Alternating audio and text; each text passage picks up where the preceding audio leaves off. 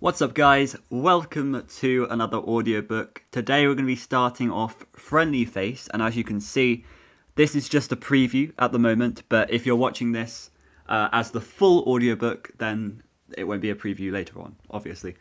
Um, so, yeah, this is part one of Friendly Face. If you're watching the part one, this is just a preview. so, yeah, people get confused. It, the book isn't actually out yet, but it will be when the full audiobook comes out. You know what I mean. You know what I mean. Anyway, Friendly Face. I'm so excited. We finally have a preview uh, slash the, the full book. uh, and yeah, here we go. Edward's cereal bowl hit the floor and shattered. Milk and soggy flakes splashed his jeans. Edward jumped up, frowned, and looked around, reminding himself of where he was. Right. He was in the kitchen. Old fashioned red laminate counters, bright white farm style sink, retro fridge and stove, smells of ripening bananas, and that alfalfa his mum put in her energy smoothie. He'd been eating breakfast until he got lost in his book. He looked down and stared at the remains of his bowl. Edward, you have to be more careful, his mum snapped. Edward glanced at her. His mum looked harried. Harried? As usual. A few auburn strands had come loose from the twist she always wore her hair in. She was shaking her head and rubbing her temples as she stared at the mess on the scuffed hardwood floor. How'd that get down there? Edward asked. His mum sighed. She leaned over and started picking up pieces of green stoneware. Edward bent over to help her, and their heads bumped together. Ow! they shouted in unison.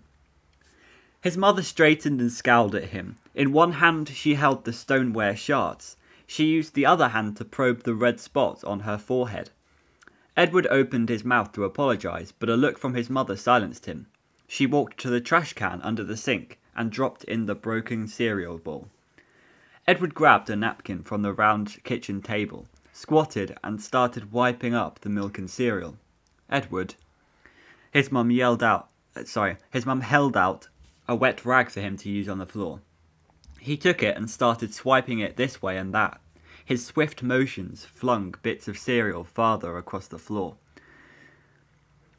His mum sighed again. Just leave it. I'll get it. Go brush your teeth. You're going to miss the bus. Edward stood and seized the moment to apologise. Sorry, I don't know how that bowl fell.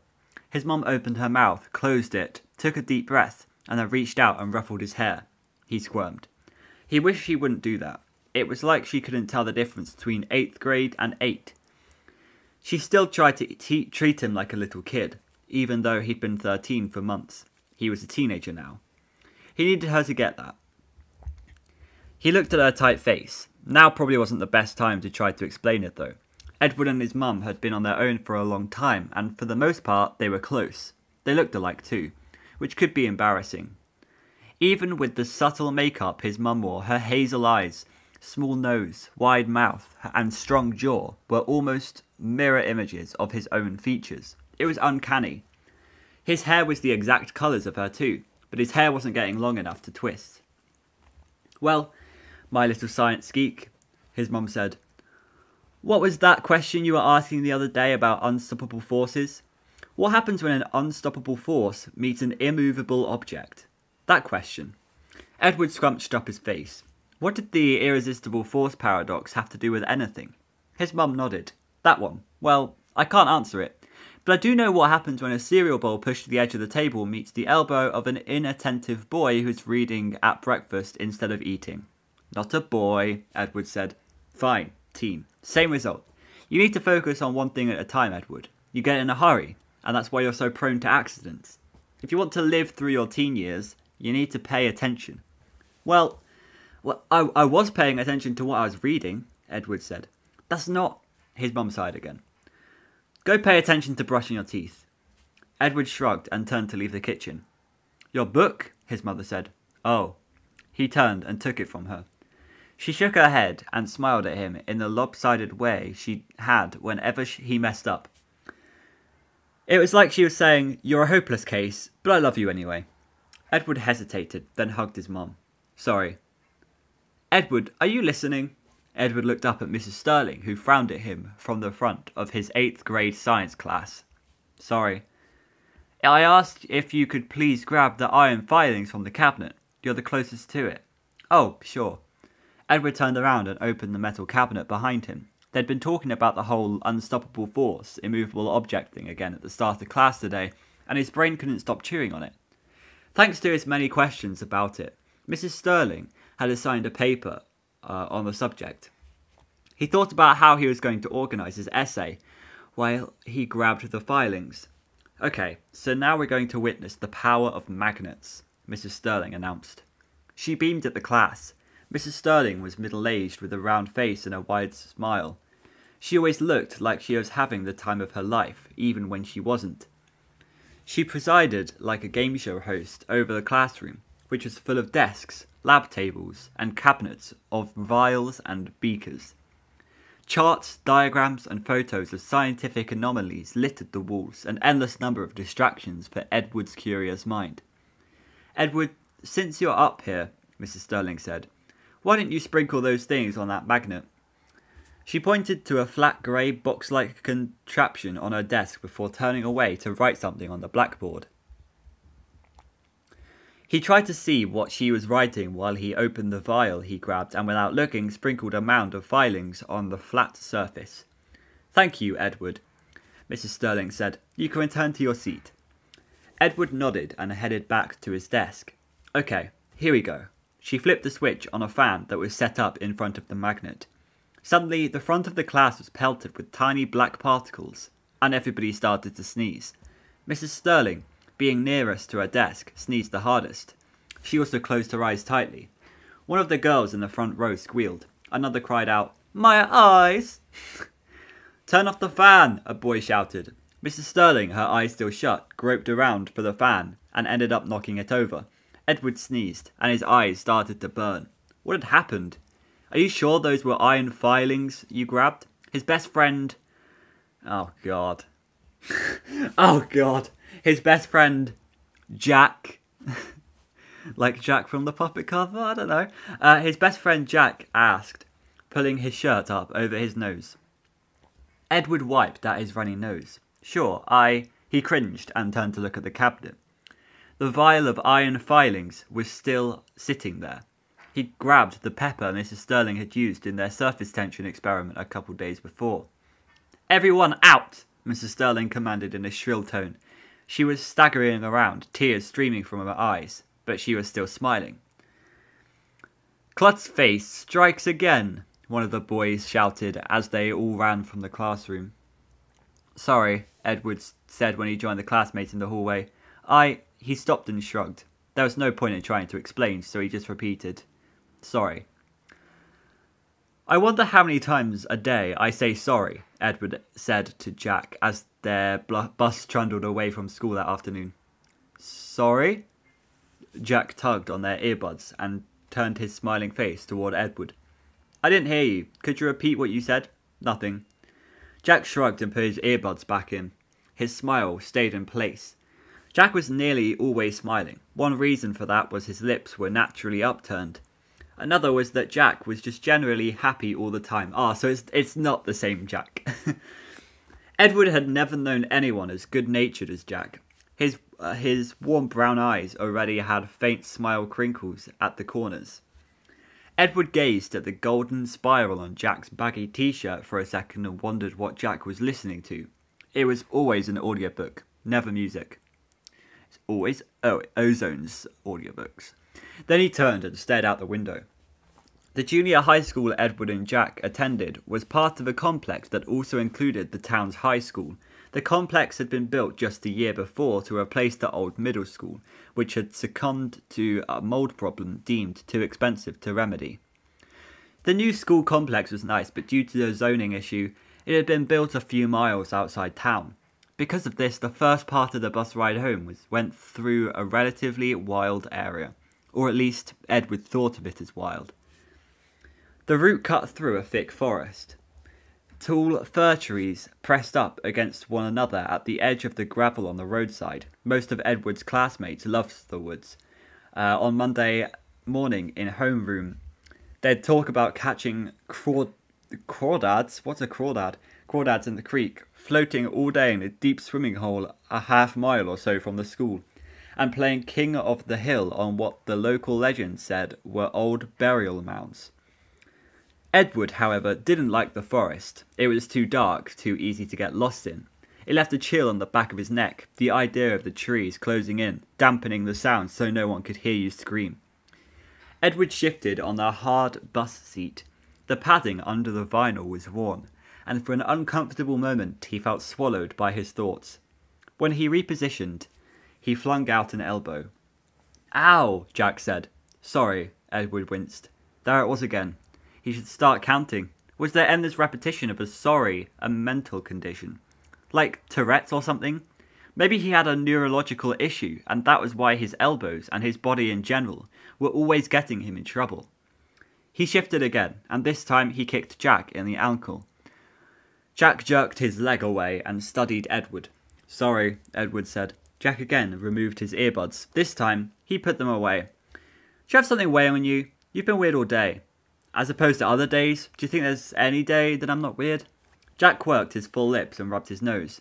You make a valid point. He leaned over and bumped shoulders with Edward. But it takes weird to know weird.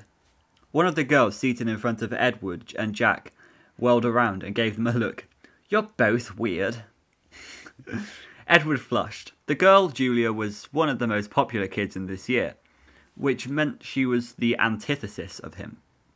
Most days, that didn't bother him. He and Jack had decided a long time ago that they existed in their own universe. They might have to hang out in this one, but theirs was separate.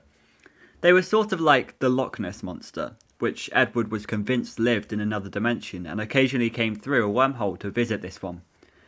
Why else would the monster be spotted only ten times or so a year? He looked into Julia's pretty eyes. He wondered if his theory would interest her. He opened his mouth, but before he could speak, she rolled her bright blue irises. Thanks to you two, we all have to write papers on why it's impossible for an unstoppable force to exist in the same universe as an immovable object. Jack's smile widened, and he bounced in his seat. What's the issue with that? It's quite entertaining to think about. Just imagine if this bus had infinite energy and. Shut up! Julia turned around. Edward stared at the at the way her wavy black hair hung from the back of her head like a waterfall cascading over rocks on a moonlit night. He glanced at Jack, remembering Jack's laughter when Edward had shared his feelings with him a couple weeks before. Have you lost interest in the sci fi genre and developed one of a romantic fiction? Jack had spotted between guffaws. She lives on a different plane of existence, Edward. It's not possible. For reasons Edward didn't understand, this universe, not the one he and Jack were from, had its basis in a couple of strange equations. Equation 1, interest in science minus interest in sports equals weird. Equation 2, weird plus small equals outcast. Too true, too true. Who decided this stuff? He wasn't sure. It seemed like nerds generally made more money. Nerds created stuff that the world that made the world better. So who invented this popularity calculus? And who distributed the memo about it? It just seemed to be something everyone knew. You coming? Jack asked. Edward blinked and looked around. Several kids were getting off the bus. Edward looked out the window. This was their stop. Jack and Edward stood, but something wet and gooey smacked Ed- Edward in the cheek. Fazgoo! uh, before he could reach up, the gooey object, chewed gum, oh, uh, bounced onto his chest and stuck to the left eye of his smiley face t shirt. He tried to flick it off, but it clung. He grabbed it, almost gagging at the grossness of the slick spittle covering the gum. In spite of that human slime, the gum stuck to his fingers. Is it actually Fazgoo? Come on, Jack urged. He was already standing in the aisle. Edward sighed and pulled on the gum. He got most of it off his shirt and had to hold it as they got off the bus. He was tempted to try to wipe it on a seat as he went down the aisle, but that would be wrong. He'd wait until he got out, then he'd wipe it onto a rock or something. He looked around, no way of knowing who threw the gum. Anyone in the universe might have. As soon as Edward was off the bus, the driver, Don, a big semi retired man with curly grey hair, called out, Have a good one. Edward waved as Don at dawn as the bus doors closed with a thump. The bus belched exhaust and rumbled away. Jack carefully centered his stack of books in front of his belly and asked, What would you like to do this afternoon? Edward watched the other kids meander down the street. He stepped away from the curb and reached down to pick up a rock from the flower bed at the edge of Mrs. Phillips' yard. After a glance at her window to be sure she wasn't watching, he used the rock to scrape the gun from his fingers. Then he bent back down to reposition the rock, gum side down, exactly where he'd found it. As he set the rock in place, he heard a faint sound. Edward froze and listened. What was that? The bus was nearly at the end of the block. When it turned the corner, the noise of the engine grew fainter, and the sound coming from Mrs. Phillips' flower bed got louder. It seemed to be a cross between a squeak and a chirp. Was it an injured bird? A chipmunk? Edward dropped to his knees and began looking around under the big. Okay. Rhododendron. Rhododendron shrub. I have no idea what that is. Uh, guarding Mrs. Phillips's seasonal plantings. Because it was January, the flower bed had no flowers at the moment. Instead, it held a collection of winter clad gnomes, all of which wore hand knit sweaters Mrs. Phillips had made herself. Whatever was making the sound made it again. It was louder now. Chwee, chwee! What are you doing? Jack asked. Uh, shush. Don't you hear that? Hear what? Edward ducked his head under the bush and gently repositioned a gnome wearing a ski cap. The sound shifted to a pronounced hiss, and he yanked his hand back. I think there's a snake in here, he said. Well, then why are you placing your hand in that vicinity? The hissing stopped, and the sound returned, only this time it was more of a mwee than a tree. hey, I heard that, Jack said. A snake couldn't make that sound. Jack leaned over, brushed off a spot on the sidewalk, and positioned his stack of books at the edge of the flower bed. He knelt down, he knelt next to Edward and leaned in to peer past the gnomes. Together, Edward and Jack moved another gnome. From beyond their hands, something hissed again, and they emitted another mui. Jack held aside a rhododendron branch, and two yellow eyes peered out of them.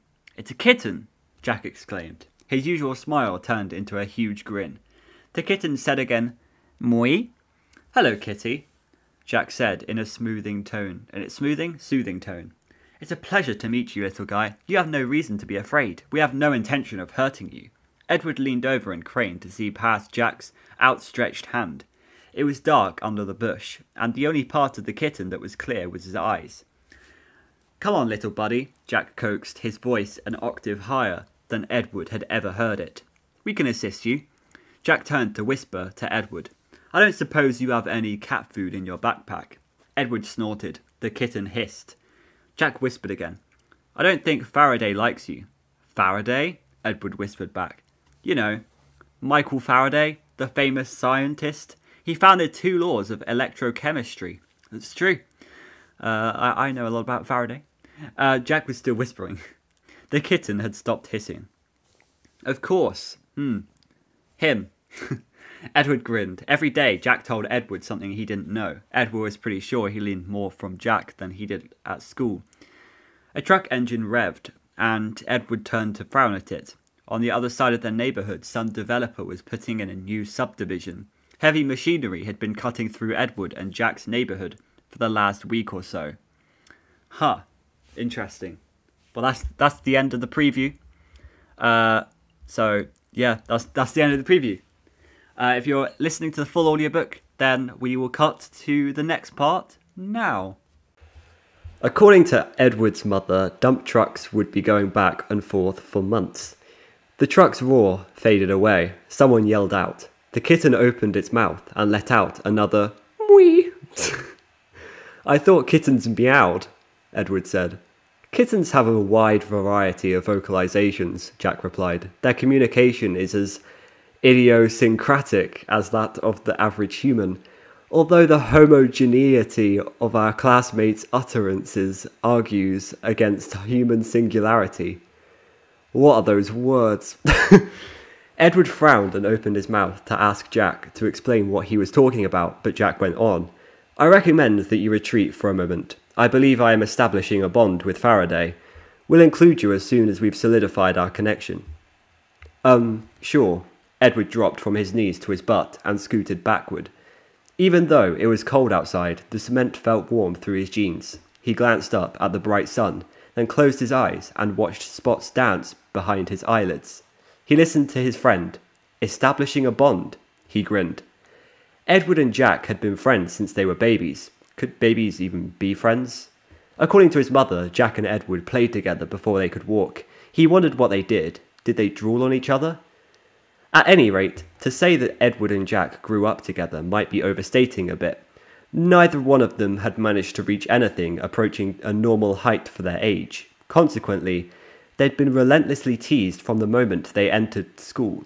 But honestly, even if Jack wasn't short, he would still invite derision.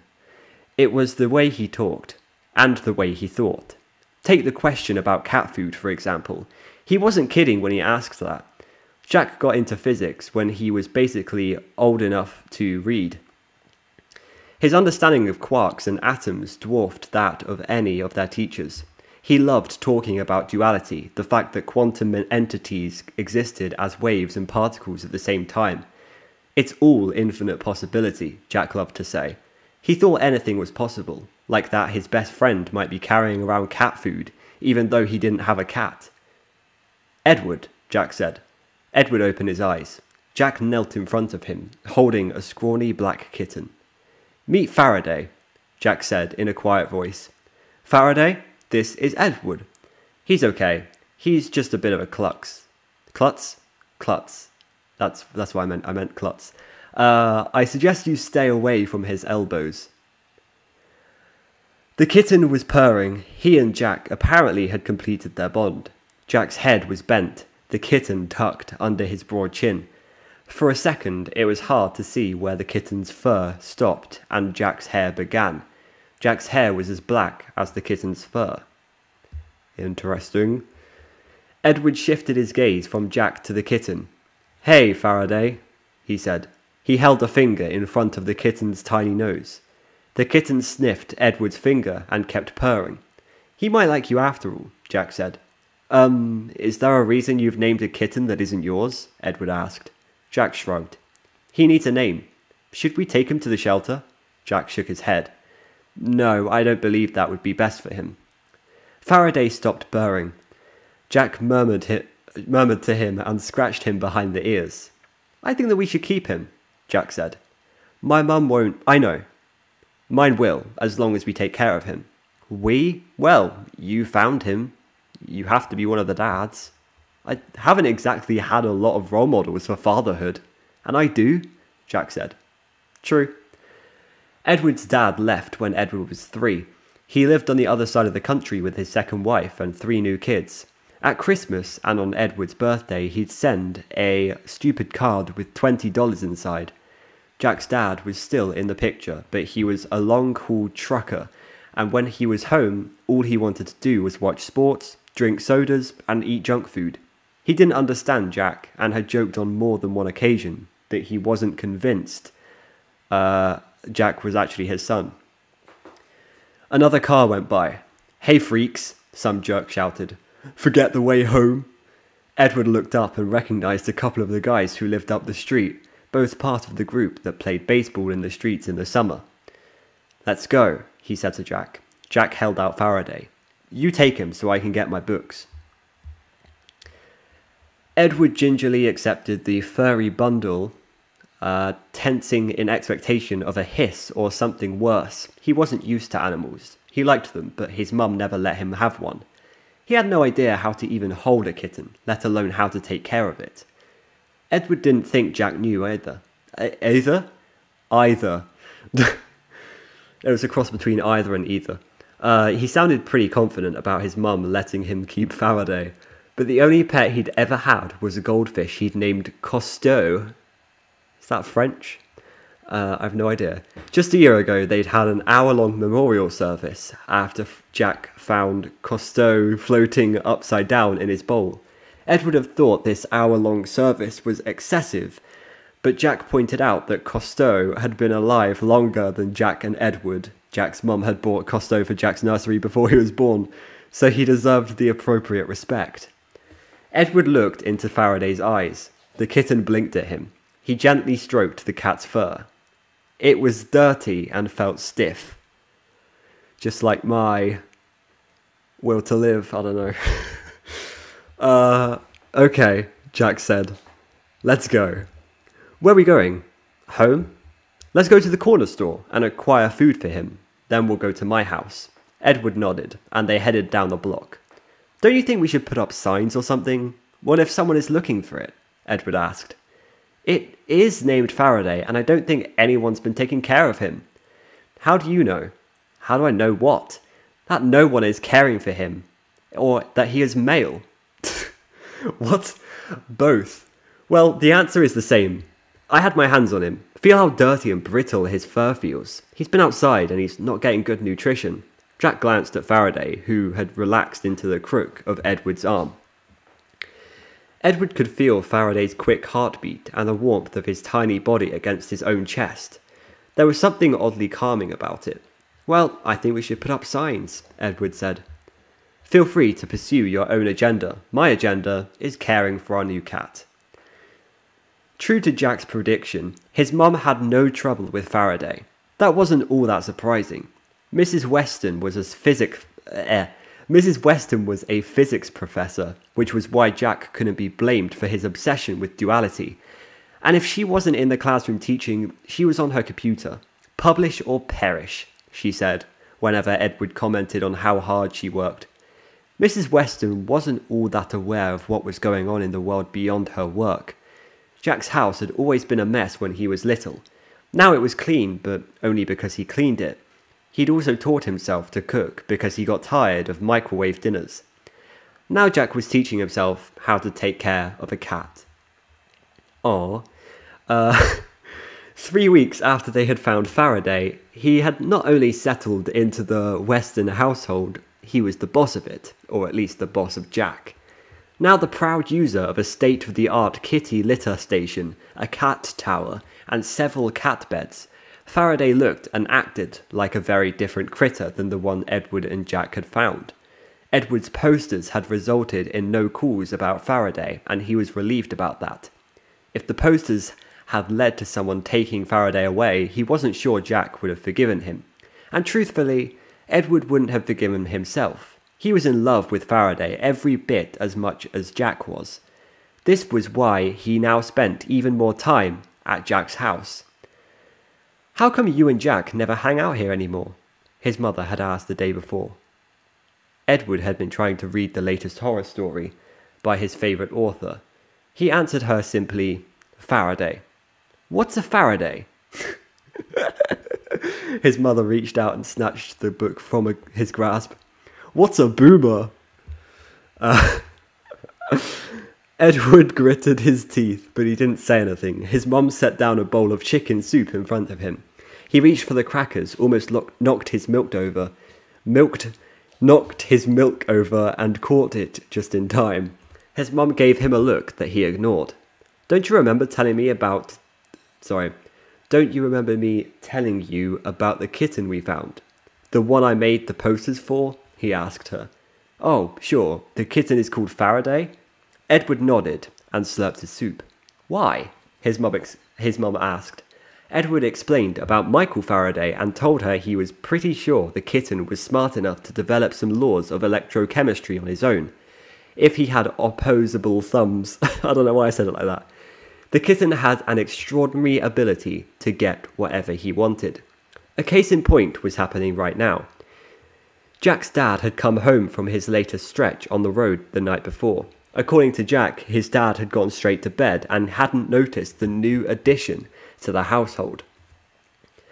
Minutes before, however, he'd shuffled into the family room and, and flopped into his leather recliner. Reaching for the remote, his hand instead encountered a handful of kitten. I love a handful of kitten. What the hell? Jack and Edward, who had been sitting on the room's big brown rug using a laser pointer to amuse Faraday, froze. Jack flicked off the laser pointer. Faraday looked around, trying to find his missing prey. When he couldn't locate it, Faraday said, Merp. Jack was right about the variety of kitten sounds. Faraday had an extensive language, which of uh, much of which Jack and Edward understood. Merp meant the exact same thing Mr. Weston had just said. What the hell? Or maybe fa- I'm messing up a lot. Or maybe Faraday's version was more colourful. Edward wasn't sure. Where'd the cat come from? Mr. Weston asked as he popped open a can of soda. He set the soda next to a coaster Jack had ineffectually placed on the end table next to the recliner. We found him, Jack said, his usual smile wavering slightly. Mum said we could keep him. Edward was fascinated by how Jack's normal complex speech patterns became simple sentences when he spoke to his dad. Poor Jack. He tried to relate to his dad. It just didn't do much good. She did, huh? Mr. Weston scowled. Not only did Jack's dad not share Jack's personality or interests, he looked nothing like Jack. Mr. Weston was broad shouldered and tall. His hair was black like Jack's, but his features were totally different. He had big features large eyes, a broad nose, a jutting chin, just like the cat on the front cover of this book. What good is a cat? Mr. Weston asked. Faraday looked at Jack's dad and said, Mop. Then he stepped on the remote right on the power button. The TV came on. It was a cooking channel. Before Mr. Weston could reach for the remote to change the channel, Faraday flicked his tail and stepped on the remote again. The channel changed and a college basketball game appeared on the screen. Jack's dad looked from Faraday to the TV and back again. Not bad, cat. Faraday said, Meep, and jumped off the end table. He knew when his work was done. And that was apparently that. Mr. Weston settled in to enjoy the game, and Jack, Edward, and Faraday retreated to Jack's room. The addition of Faraday to Jack's life required that Jack make a few adjustments to his room. First, of course, were the already, already mentioned Kitty late air. Oh my god. First, of course, were the already mentioned Kitty litter station, cat tower, and beds. There you go, that sentence wasn't so hard. Three beds to be exact. But technically, only one of them was a bed the fluffy kind that was like a poof with a hole in the middle for Faraday to sink into. The other two weren't exactly beds. One was a sleeping cave, kind of like a soft igloo, and the other was a hammock. In addition to these basic kitty, oh my god, accoutrements, accoutrements, Jack and Edward had spent the better part of the previous three weeks turning Jack's bedroom into a kitten play paradise. Putting their combined physics knowledge and Edward's fledging interest in woodworking together, they built a series of platforms, ramps, and kitty ways all over the walls of the room. The network of feline paths ran up over Jack's bookshelf sh- shelves and then circled the room at a level just a foot or so below the ceiling. I would love that if I got a cat. I actually really do want a cat. In addition to these thoroughfares, uh, Edward and Jack built a series of chain reaction mechanisms designed to keep a feline occupied for hours. Faraday loved all of this, but what he loved the most was Edward and Jack. Aww, that's such a cute sentence. Faraday was not just a smart kitty, he was a social kitty. He liked playing group names like Catch Me If You Can, Keep Away, which usually involved him taking off with something the humans didn't want him to have, and Hide and Seek, hide and seek. Uh, I know, I know, it's just a playground game. Uh, it could be a reference to the other. Whatever. Faraday was far too good at all three games. He quite often tried the patience of his keepers to the point that they wanted nothing to do with him. But that's when he'd pull out his superpower. Faraday was, above all else, a cuddle master not aloof like any cat Edward had ever heard about, Faraday loved to snuggle and be stroked. His purr power was off the charts. Settled for the moment on Edward's lap, he had his purr cranked up to 11. Jack, Jack sank into his desk, desk chair and straightened his schoolbooks. He grinned at Edward. Wasn't that the most exceptional display of empathetic relation between human and feline you have ever witnessed? God, you're a nerd. Edward stroked Faraday's back. Faraday raised his tail into the vaguely question mark shaped happy position and said, Prrr. It was pretty amazing, Edward said. Speaking of amazing, the difference in the way Faraday felt between the day they found him and now was pretty remarkable. In just 21 days, Faraday had gone from bony and rough to soft and silky. Now perfectly filled out, Faraday was the picture of health, and his fur shined. Jack claimed this was because he used a little of his product, some kind of glop. oh no, that supposedly made your hair glossy on Faraday. This isn't Fazgoo, is it? uh, Edward wasn't sure you were supposed to use human hair products on cats. Okay, it was a human hair product. Uh, but he didn't say anything. Faraday didn't seem to be suffering in any way. I'm just very sus when uh, when the word gloop or glop comes up in a Fazbear Fright story. He rubbed under Faraday's chin. Faraday shoved his head against Edward's fingers and said, Plumph. Somebody take all my audio of me being a cat and make it into like a beatbox. make it into a make it into a track. I think we should implement a training program for him, Jack said. Edward blinked. Can you train a cat? Of course, I found a book online. It's written by a woman who makes her living from a cat act that tours the country. I'm not sure I approve of using cats in such a blatantly self interested and entrepreneurial way, but her skills are impressive nonetheless. It's not total self interest, Edward said. I assume she uses the money to take care of her cats too. A fair point. I'm up for training, Edward said. What do we need to do? According to the book, We'll start with simple suggestions and then move to more complex ones. Suggestions? I object to use the to I object to use the word command. Um okay. Given his genius level, Jack said, gesturing at Faraday, I'm sure he'll know a host of suggestions in no time. I'm sure. Jack's prediction proved to be true. With six weeks remaining in the school year after just three months of training, Faraday was turning into a kitty performer extraordinaire. When Jack or Edward said to Faraday, Could you sit, please? Faraday would sit up straight in a look at me, aren't I handsome posture. I don't know why I said it like a robot. If you said, Could you please come here? Faraday would trot over as happy as you please. Please stay where you are, if you could. Would freeze Faraday into place. These are weird commands, like they're full sentences. Similar polite requests could get Faraday to lie down, go and get something, wave his paw, slap a high five, roll over, spin in a circle, jump, leap through your arms, and bow. It was pretty awesome, Edward thought. Now they were moving on to something akin to dog agility training. Out of space in Jack's room to build anything else, Jack and Edward asked for his mother for permission to build an agility course for Faraday in the backyard. Because neither Mrs. nor Mr. Weston cared about the wild wooden area behind their house, she agreed. They often played with Faraday in the backyard on sunny days, because he had never shown any interest in being anywhere. Edward and Jack weren't. They were sure he was safe back there. We'll never leave him outside to weather the elements or the wilds of the forest on his own, Jack had said the first time they went outside to chase Faraday around. Edward agreed. He'd, been e- he'd even been nervous about coming outside to play at all. The first time they'd done it had been in response to Mrs. Weston's complaint about the racket Faraday was making running all over the house.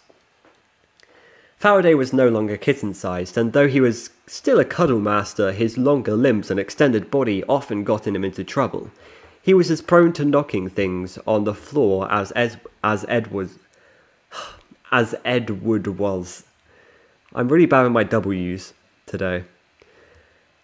The only difference between Edward and Faraday was that no one was constantly telling Faraday to be careful. On a warm day in early May, Edward carried several lengths of 2 by 2 by 12s into Jack's backyard. Surprisingly, Mr. Weston had helped Jack and Edward buy the lumber for their project. Edward theorized that Mr. Weston was thrilled his son had taken an interest in something manly like woodworking. Of course, no one told Mr. Weston that Edward would be doing all the building. and Mr. Weston didn't hang around long enough to find out. There was a baseball game on TV. Edward could faintly hear the game through an open window at the back of Jack's house, but it was mostly drowned out by the neighbour's lawnmower. The smell of freshly mowed grass wafted over from next door and mixed with the musty smell of the wet earth in the Weston's unattend- untended yard. Why do I know what that smells like? I am of the opinion that we should first demarcate demarcate our layout with chalk. Jack said when Edward showed him his plans for Faraday's agility course. Edward shrugged. That's fine. As Edward carried lumber and old tyres and tubing this way and that, he realised that Jack's chalk markings would be the extent of Jack's contribution to their project. That, and pointing here and there as he instructed Edward where to place uh, various aspects of the course. While Edward and Jack planned Faraday's agility course, Faraday prowled the yard on the lookout for large leaves left over, unraked from the fall. They were next, the next best thing to a laser pointer. Occasionally, a hefty breeze would toss some leaves around, keeping Faraday well amused while Jack planned and Edward got to work. In the weeks to come, Edward would wonder whether he'd missed some sign that afternoon, something to warn him of impending disaster. Was there a hint somewhere in the time they spent training Faraday? A whisper from the gods? Any inkling of a threat? He often wasn't paying enough attention to the things he needed to, and the idea that he'd missed an important warning often kept him awake, wondering. Still, he could never pinpoint anything that would have alerted him to what was coming, and he supposed that was a good thing. In every paradise, a serpent lurked. In Edward and Jack and Faraday's paradise, the serpent was a butterfly, a pretty, orange, fluttering monarch butterfly.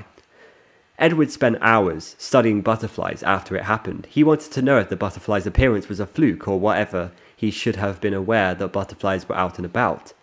It so happened that May was indeed a normal time for butterflies. Monarchs, Edward leaned during the terrible weeks after that day, lay their eggs in March and April. Their eggs hatch into larvae that grow into caterpillars, and then two weeks after that, the caterpillars find a nice sheltered place to start creating a chrysalis from which the butterflies emerge. The first generation of monarchs only live two to six weeks. They have a grand time eating during that short period, and then they die after laying eggs for the second generation of monarchs. I don't know why I laughed at them dying. It's that generation from which the evil emerged. Edward wished he'd known more about butterflies. He liked to think there had been no way he and his best friends would have been outside if he'd known. But then, how would he even know that Faraday would think a butterfly was a colourful flying leaf?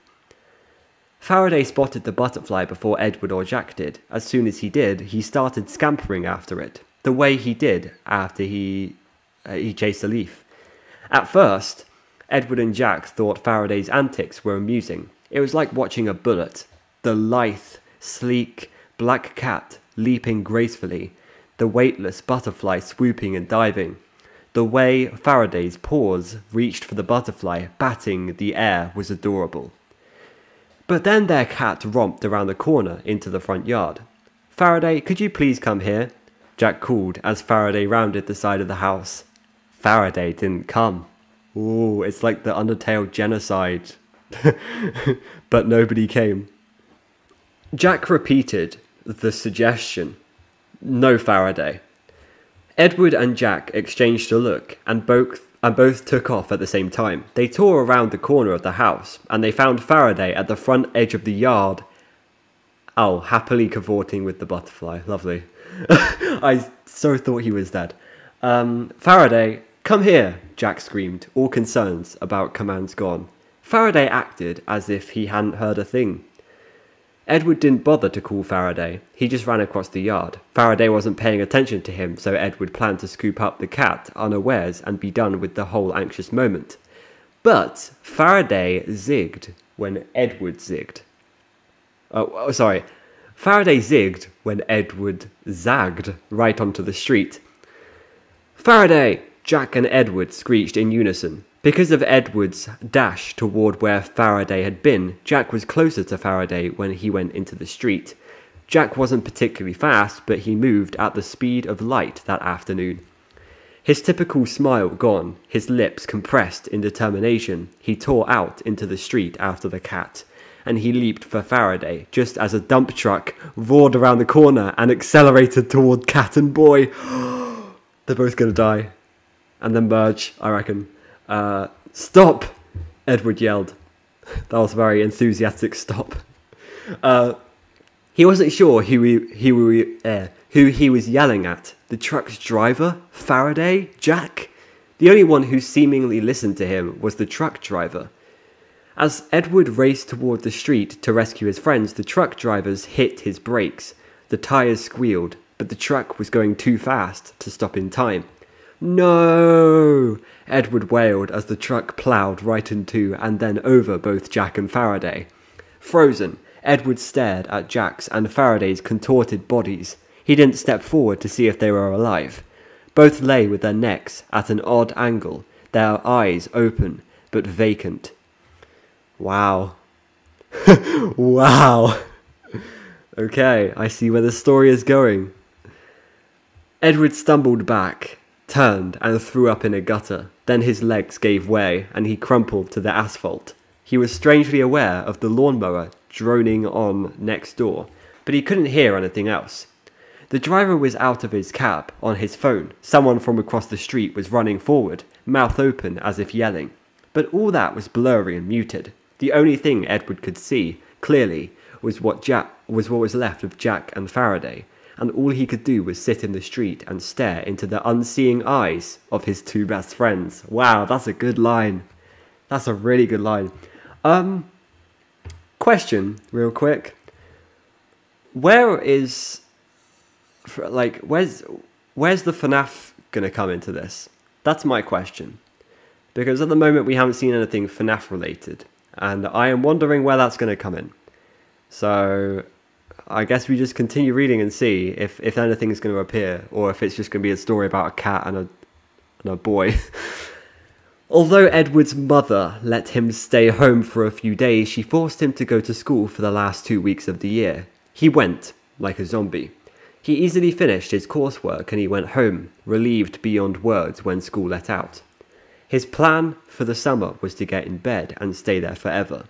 His mother tolerated Edward's withdrawal for a couple weeks after school ended, but then she started nagging him to get out of the house and do something to take his mind off things, like that was possible. Edward's mind was no longer his own. It was stuck in an endless time loop, one that replayed the worst moments of his life over and over and over again. He kept seeing it in his mind's eye Happy Faraday frolicking into the street, panicked Jack running faster than he'd ever run before, both getting ploughed over by the truck. Edward's ears kept playing the soundtrack of the moment over and over the screech of the tyres, the thud of the impact, a dull, wet crunching sound when Jack hit the pavement, a deep, rasping wail that split the world open when Jack's father came outside. Edward couldn't take his mind off was off what was in an indelibly in I can't say that word. What was indel, indelibly indelibly Edward couldn't take his mind off of what was indelibly etched there. There we go. Um, uh, wow, that was really good imagery. Um, Edward was no longer in the universe he had lived in for all but a few months of his life. The Jack and Edward universe had collapsed in on itself. Edward had been sucked out of it and spewed unceremoniously into this nasty dimension where he was utterly and completely alone. Well, except for his mum. His mum now sat at the end of his bed, fussing with the ubiquitous strands of hair that refused to cooperate with her hairdo. She looked around his messy room. There's a lot of weird words in this. Edward watched the tendons in his mother's neck tighten as she gazed at the piles of dishes on both his desk and the floor. Her attention shifted to the mountains of books next to his bed. Desperate to escape the time loop, he'd been obviously, sorry, obsessively rereading every science fiction book he owned. He'd pull a book down, read it, then toss it on the floor. His bookshelves were nearly bare. His floor was not. I know what's to happen. I know what's to happen. He's now obsessed with like sci fi stuff. It's to be like Frankenstein. He's going to put the two together so that they, they're both one being. And he's going to be like, this is great. And then it's going to kill him or something. I don't know. Let's see. His mum turned to look at him. Her nose twitched, and he knew why. He hadn't showered or changed out of PJs since school had ended. Edward, I know you're grieving, his mum began. But he looked at her blankly. She swallowed and cleared her throat. Do you want to talk to someone? Edward shook his head. Who would he talk to? I mean, someone like a therapist, his mum tried. No, the words erupted from his mouth before he even knew he was going to say it. The idea of talking to some total stranger about his pain made him feel even sicker than he already did. Okay, his mum said quickly. Okay. She touched his knee. I just. I just don't know how to help you. The only thing that will help me is bringing them back. His mum frowned, and her eyes filled with tears. I'm so sorry. She swallowed and looked away from him. If only you two hadn't found that stupid cat. Faraday wasn't stupid, Edward shouted. He clenched his fists in the fabric of his space patterned bedspread. His hand bunched up a bright purple whirlpool galaxy. Wow. Faraday was the best cat ever, Edward screamed at his mother. Better than most people. His volume increased even more, and he felt spittle fly from his mouth. I'm glad we found him. He was the only friend I've had besides Jack. Edward heaved. Uh, Edward's chest heaved. He struggled to breathe. Oh, Edward, his mother said. She got up and moved to his side, wrapping him in a tight bear hug that made him breathing that made breathing even harder. He didn't struggle to get free though. He was sobbing now. His mother, mother, his mother was big. his mother began rocking them back and forth. He let her. I'm sorry, she whispered in his ear. I'm so sorry. I didn't mean what I said. I feel terrible that you're hurting this way. I hate to see you like this. Edward felt the tension begin to recede from his body. He relaxed into his mum's arms, but he didn't say anything.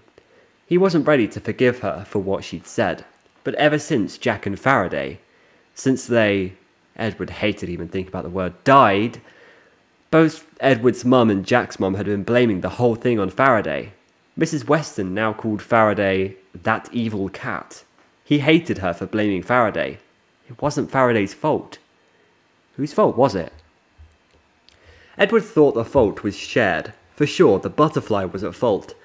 But if the butterfly hadn't gone into the street, Faraday wouldn't have gone into the street.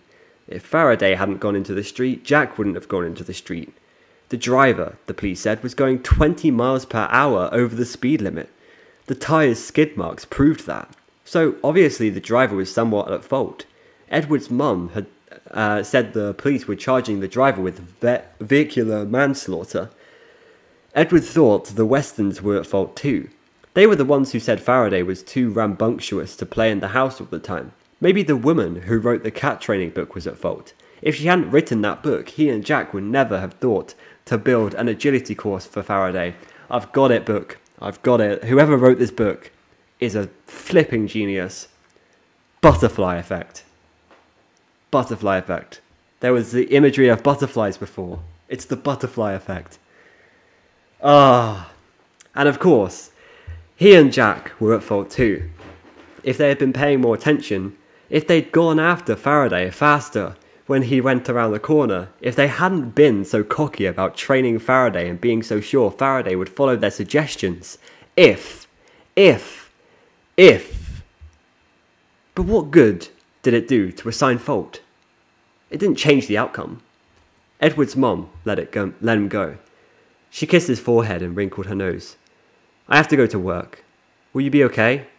He looked at the lines bunched up between her eyes. He thought there might be more lines than there were before. Well, before. I'll be okay, he told her. She pushed back and studied him f- for several seconds. Then she stood. Maybe you could take a shower. She winked at him. Edward gave her a half smile. I was trying to set a smelliest human record. She smiled back. Hmm. Well, I don't think you have far to go to achieve that. Actually, Edward said, there's a 65 year old guy in India who's lost 37 years without washing. Why do you know this? Uh, for a while, everyone thought he was the world's smelliest man, but then they found this Iranian dude. Iranian? Is that how you say it? That's a really weird way to say it. Iranian? No, it's definitely Iranian. Iranian dude who hadn't washed in 60 years. He's 80 years old and hates water, eats lots of smelly meat. His favourite is porcupine, and he puts animal um, dung in his pipe. You're making that up. His mum's eyes were wide and her lip was curled. No, really, I read it in several places. His mum ruffled his hair, and for some reason, it didn't bother him this time. He grinned at her. Well, she said, you're going to fail at the record, because if you haven't showered by the end of the day, pizza is a thing of the past. Edward gave his mum a look of mock horror. No pizza? She smiled at him and stood. She hesitated. You'll call me if you need me. Sure. Edward realised that for a few seconds, when he was talking about the smelliest men, he'd forgotten to be sad. He felt a little bad about that. How could he let himself get distracted from his sadness? Jack and Faraday were more important than Smelly Man. See, he, he's getting obsessed. He's getting obsessed. His mum studied Edward for another few seconds, then took a deep breath and left his room. He listened to her head down uh, the short hall. He heard her jingle cl- her keys and snap her purse shut. Then he heard the shush, the tap of her walk, the friction of her stockings, and the sound of her high heels. I'll come home for lunch, she called out. Okay, he shouted back. Oh my god, something just hit me. The cat is called Faraday, right? The cat's called Faraday. Faraday was known for electrochemistry, a little bit like Frankenstein. They're gonna bring him back to life. okay. Maybe that's a weak weak connection, but I feel like they're gonna bring him back to life with electricity, and he's gonna be conjoined with with uh, with Edward. No, not Edward. Uh, Jack. Uh, I'll come home for lunch. She called out. Okay, he shouted back. The front door opened and closed with a squeak and a thump. He sat in the silence and listened to the sound of his mum's car engine sputter to life before roaring once and then settling into a quiet purr as she put it into gear. The purr reminded him of Faraday. He slumped down against the pillows and pulled his bedspread up over his head. Under the covers, he breathed slowly in and out. He liked it under here. He'd spent a lot of time under here in the last several weeks. It was kind of like a deprivation chamber, or as close to it as he could get. All he could hear was the sound of his inhale and exhale, and when he focused on that sound, he forgot to notice the sensations of the covers rubbing against his skin, the support of the mattress beneath him. He also forgot to notice the sour smell of his breath and his body odour. He went into a sort of nothing state. In this state, he could get the mental replay to freeze for a few seconds, but then it would start up again, like it was now. Edward threw off the bedspread. He inhaled and immediately regretted it. How could these old guys stand themselves? He'd only gone two weeks without washing, and he wanted to drop kick himself into the nearest bathtub. Sighing, Edward got out of his bed. He needed to take a shower. Oh, this is good. This is very good. When Edward returned to his bedroom after a long, hot, soapy shower, the contrast between his newly washed state and the smell of the stale air in his room was more than he could stand. He picked his way around all the cascading mountains of books to get to his window. Opening the shade let in so much sun that his eyes watered, so he only left the shade open long enough to lift the window. Then he pulled the shade again. He wanted fresh air, he wasn't ready for light. A warm breeze caught the vinyl shade and flicked it back and forth against the window frame, causing a whoosh click every few minutes. Edward ignored the sound and looked around his room. How many hours had Edward and Jack spent in his room? Maybe he should sit down and calculate that. Reading science fiction didn't seem to be enough to distract his mind from the nightmare he was replaying. Maybe a complicated math problem would do the trick. Oh, that always does the trick for me. Edward crossed to his desk opened a drawer and took out a pad of paper, a pencil, and his calculator. He looked at the edges of his antique walnut desk. His mum had bought that desk for him when he and Jack had started junior high. Jack had been jealous of it because it was so big. Jack's desk was a spindly little, little thing made up of particle board covered with wood veneer. He said it didn't nurture his brain cells, so Edward had let Jack use his desk most afternoons. Jack had done most of his homework in the previous two years at his desk. Edward had done his on his bed. Edward wiped his eyes and turned away from the desk. He needed to add more dishes to the pile so he could barely see the desk at all. He set down the paper, pencil, and calculator on his bed, piled more dishes on the desk, and turned away from those memories. He wandered over to his shelves. Only a few books rem- remained there, his least favourites. They lay limply in the layers of dust that had hidden behind the other books. He sighed and returned to his bed. Plopping on the bed, he picked up his pad of paper. Wow, there was a lot of peas there. Plopping on the bed, he picked up his pad of paper. okay, how many hours was Jack in this room? Before they rescued Faraday, he and Jack had split their time pretty equally between Jack's room and his, so all he had to do was figure the total hours they'd spent together and divide it in half. He began to try to find his earliest memory of Jack. That was easy. It was right after Christmas, when he was only two. Edward's Dad had gotten him a huge set of building blocks, so he and Jack had built a massive castle.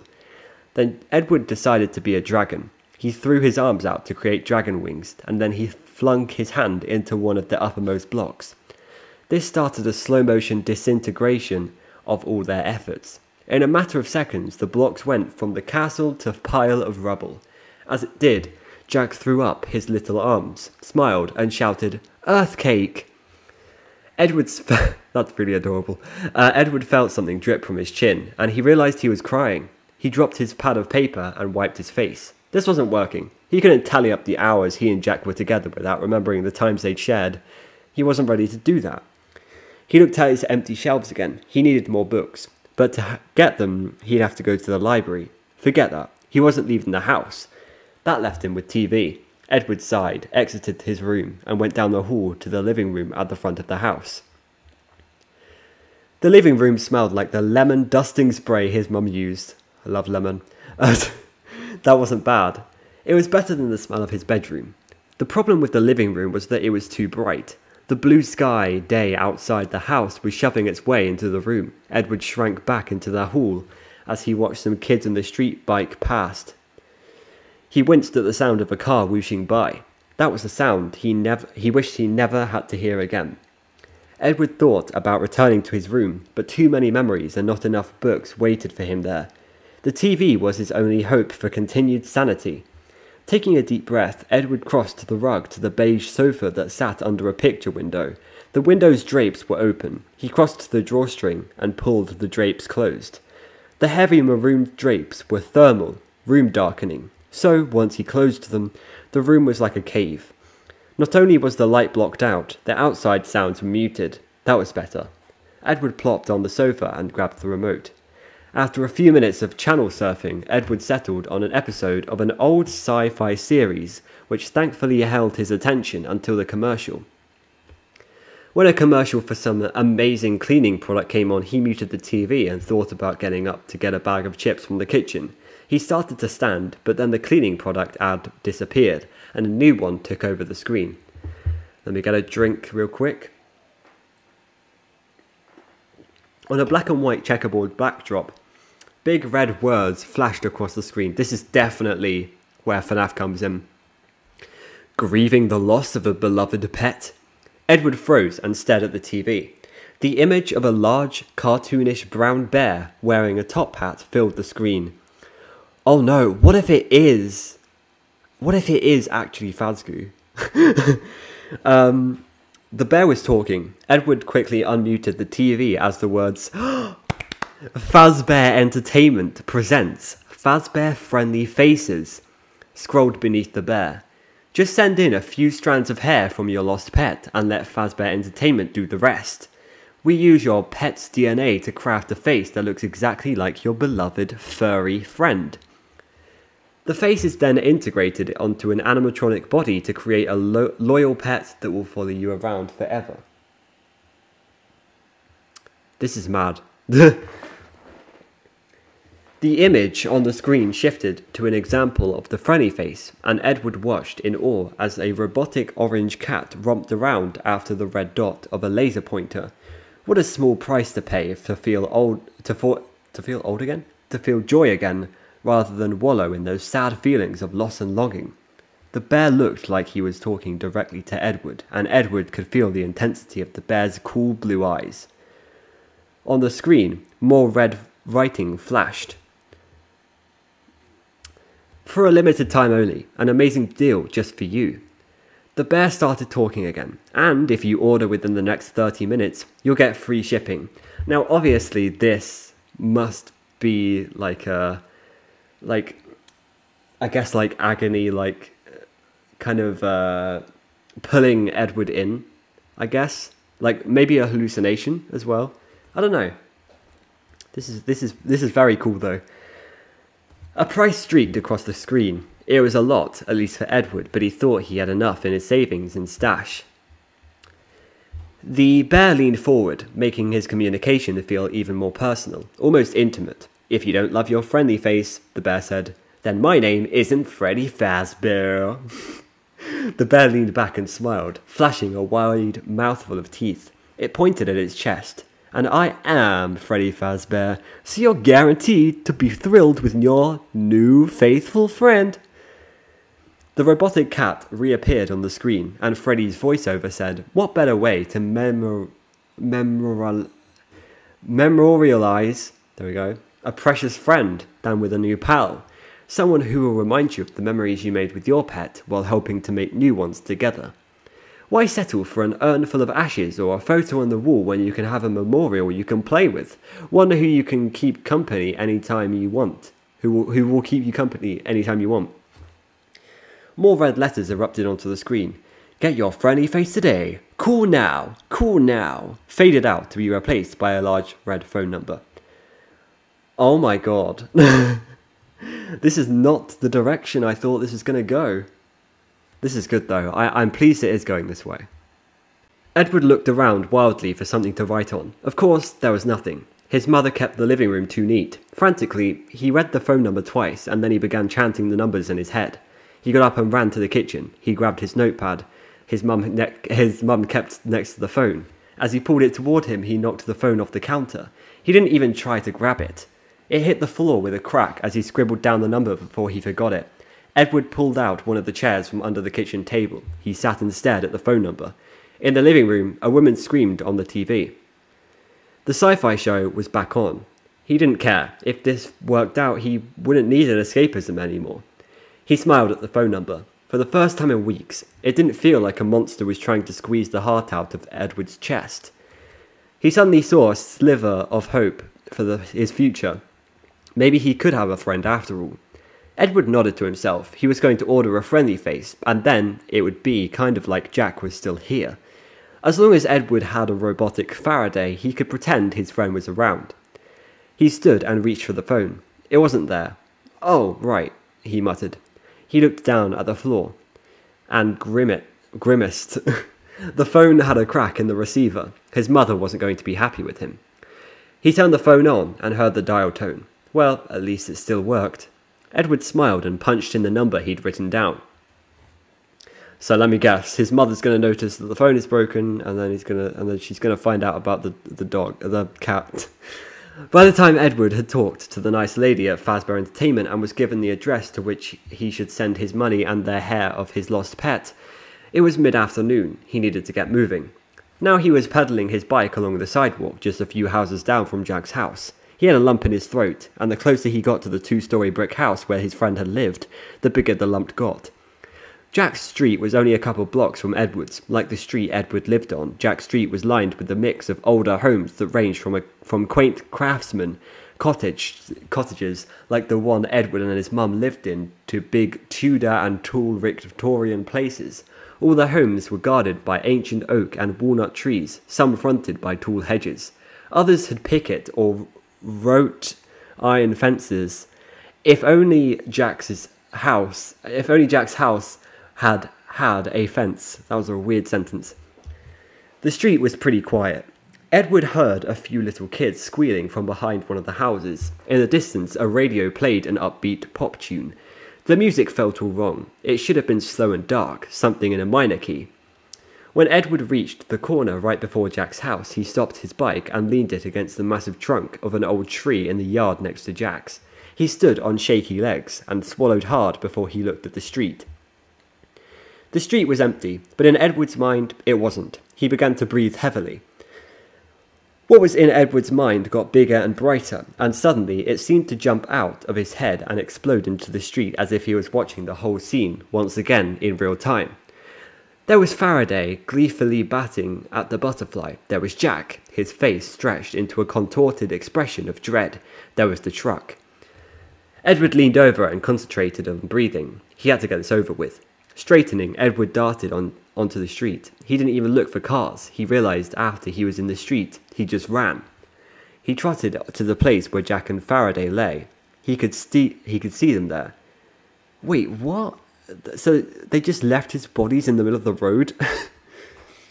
it was a weird proje- projection from his mind, he knew, but they looked real, disturbingly real. Because he could see them, he knew exactly where to find some of Faraday's fur. When he got there, though, he realized he wouldn't have needed his mind's upsetting reenactment. A bloodstain marked the spot of Jack's and Faraday's last seconds on Earth. When Edward saw it, he had to clamp his mouth shut to keep from spewing what was left of his undigested soup all over the street. Wanting this over with, Edward spastically scanned the area around the bloodstain for black hair. Oh, right, so there wasn't the bodies, it was just the bloodstains and the hair and stuff. Finally, he spotted some lying at the end of the rust coloured splotch. Pulling a plastic bag from his pocket, Edward quickly leaned over, plucked the hair from the road, and dropped it into the bag. Then he ran back to his bike, grabbed on, and pedalled away as fast as he could. He was home just a few minutes later. Wait! Did he accidentally take Jack's hair and then make him into a into a cat? Tearing into his house, Edward slammed the door and leaned against it, panting. Okay, the hard part is done. Just two more things to do, and they're easy. Edward hurried into his mother's home office, perfectly neat and decorated in creams and pale blues. He went into the pine storage uh, armoire in the corner of the room and dug inside it for a small padded envelope and some stamps. He took both of these back into the kitchen and put his money and the plastic bag of Faraday's hair inside the envelope. He added the right postage, and after checking the time, he went back outside to his bike and headed to the post office. The lady at Fazbear Entertainment had told Edward it would take eight weeks for his friendly face to get to him.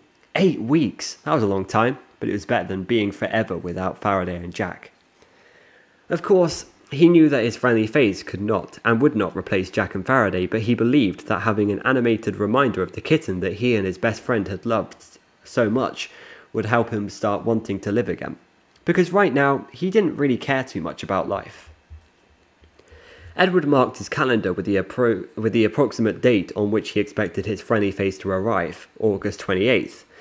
Every day he crossed out a square and told himself he was one step closer uh, to having what he was waiting for. The summer was long and lonely. Edward's mother suggested that he go on a camp, but he flatly refused. He threatened to put him in a summer school. Uh, she threatened to put him in a summer school. You like to learn, she coaxed. He shook his head. If you enroll me, I'll run away from home. Blackmail? Yeah, I'll find you if you do that. I read a lot, Mum. Edward said. I've read a lot about going off the grid too. It won't I won't be easy to locate. His mother just shook her head and went back to work. When Edward's mother began talking about moving to a different town for a fresh start, Edward realized he'd better do something to prevent such a drastic action. Will you take me to the library tomorrow to get some books? He asked her over a Sunday breakfast of overcooked French toast. His mum wasn't stellar in the kitchen, but most of what she made was edible. Sure, she said. The eagerness in her voice made him feel bad. She was thinking that he was snapping out of it. He wasn't. Day after day crawled by. Finally, August 28th came and went, no package. Edward called Fazbear Entertainment. Where's my friendly face? He asked another nice lady on the phone. Could you give me your name, dear? Edward Coulter. He listened to keyboard clicking through the phone line. Here you are, she sang out after a moment. There was a delay in manufacturing because of a p- production anomaly. Oh. Oh. We're so sorry for your inconvenience, but you should have your friendly face in about two weeks. We'll include a discount coupon for another Fazbear Entertainment order as an apology for the delay. Edward sighed. He didn't want another uh, Fazbear Entertainment stuff. Uh, he wanted his robotic Faraday. Now he was going to have to go back to school after his animatronic cat arrived. Somehow, that made returning to school even more depressing than it already was. But what could he do except wait? So he waited.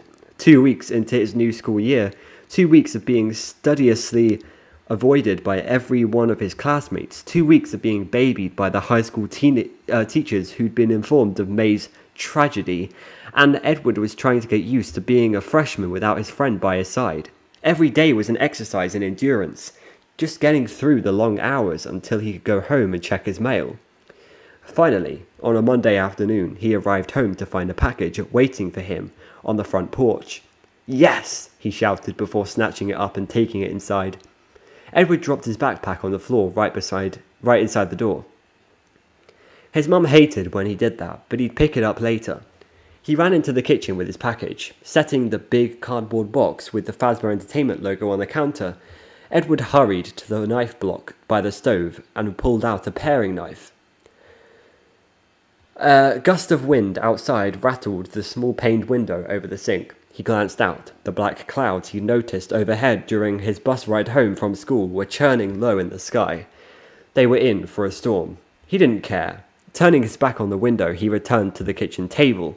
Outside, a dog barked incessantly, almost frenziedly, so much so that if Edward hadn't been in a hurry to open his package, he'd have checked on it. Other than the crazy dog, it was quiet, the only sound inside the house was the low hum of the refrigerator. Edward began carefully slicing along the seal of the Fazbear Entertainment box. The seal was black and white checked, like the background in the commercial he'd seen. It had Freddy Fazbear stickers spaced every few inches as well. It felt kind of bad slicing through Freddy's toothy smile. The knife made a chuffing sound as it soared through the cardboard. Edward's breath came in excited little gasps that joined the knife's rhythm. Edward didn't bother to cut the tape at the ends of the box. He just grabbed both sides of the lid and yanked, tearing the tape with a snap. Taking a deep breath, he flipped back the lid and started digging through the styrofoam peanuts that covered his prize. The peanuts flew as he th- reached through them. They snowed all over the table and the floor, Edward ignored them and also the small instruction booklet he found in the peanuts. He could see black hair on the body of a medium sized cat. He was almost shaking in anticipation of meeting his new robotic pal. Digging out more styrofoam, he got a grip of his new friendly face. Then he pulled it from the box in a spray of more peanuts that skittered this way and that. Edward lifted the friendly face from the box and held it up before his eyes. Edward screamed and dropped the friendly face. It landed on its legs in the open box, and the styrofoam peanuts held it upright before uh, Edward's appalled gaze.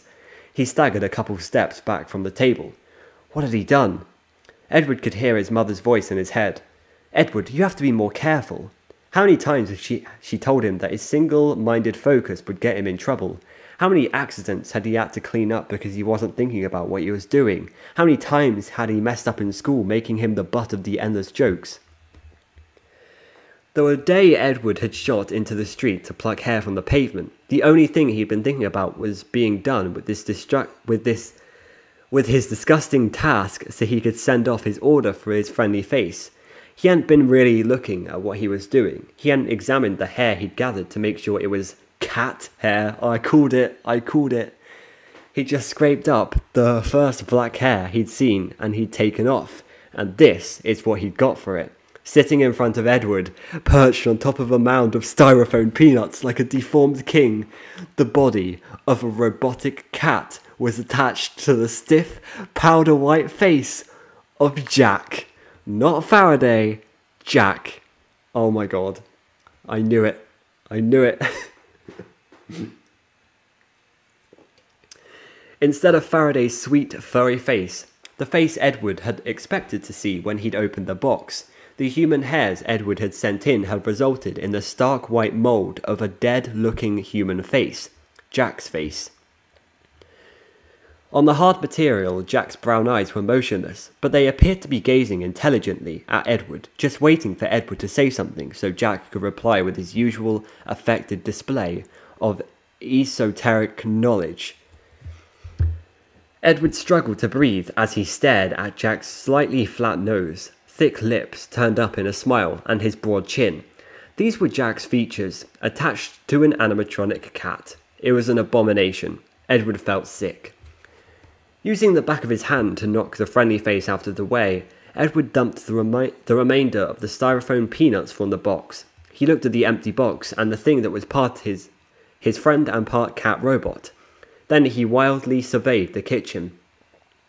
Spotting the wooden spoon in a pottery jar above the stove, or by the stove, sorry, which his mother used for her cooking utensils, he rushed over and grabbed it. He then picked up the box and held its opening level with the kitchen table. He used the spoon to shove the awful, what, creature machine into the box. He knew he was acting crazy, but he didn't want to touch the thing. It was just too creepy, too wrong. Once he got the nasty friendly face in the box, he pushed the instructions manual into the box as well. He didn't even want to look at the manual. He had no intention of activating this thing. He looked around again. He had to get rid of it. He didn't want to just throw it away. Firstly, if he did it, if he did that, his mum could find it. Second, the garbage was far too easy to get out of. Edward gasped and took two steps away from the table. Why had he just thought that? He shook his head. He didn't want to ponder this morbid place from which that thought had arisen. He'd read way too many horror stories and science fiction novels, watched too many macabre. Ma- is it macabre or ma- macabre? I don't know. Macabre movies. He was being ridiculous, of course, but he still wasn't going to throw this thing in the trash. No, he was going to bury it. Huh, interesting. Outside, thunder rumbled. He glanced out the window. The sky was still roiling. He'd have to hurry. Grabbing the box, taking care not to touch what was inside, Edward hurried out the back door of the kitchen. He scurried to the garden shed at the rear end of the yard. With fumbling fingers, he turned the dial of the combination lock. It looked it took 3 tries before he got the numbers to line up right so he could get the lock open. Finally, he was able to get into the shed. He grabbed a shovel and trotted to the perimeter of the yard, right up against the fence at the edge of the property. If he could have taken the friendly face someplace off his property, he would have. He wanted it far away, but he needed the thing buried now. He had no way to transport it, and even if he did, the storm clouds were about to release their burden. He didn't really want to be outside in a thunderstorm, so he started digging. He dug a two foot diameter hole about a foot down when he saw a streak of lightning out the corner of his eye. Even though his hands smarted, he dug even faster. In only a few more minutes, he had the hole deep enough. Running back to the deck, Edward grabbed the box, then returned even faster to the hole he'd dug. The skies overhead grumbled loudly. A drop of rain landed on his nose. Edward dumped the contents of the box into the hole. The manual hit the dust, uh, hit the dirt first. The friendly face landed on the manual, face up. Edward groaned when the rigid version of his friend's smiling features looked up at him. He tossed aside the box and began shoveling dirt into the hole at the breakneck pace. Every clod of dirt that hit uh, the jack face made him flinch. He felt like he was burying his friend alive. He could have sworn the jack face, though wearing Jack's non stop smile, looked accusatory. Oh, that's a nice detail.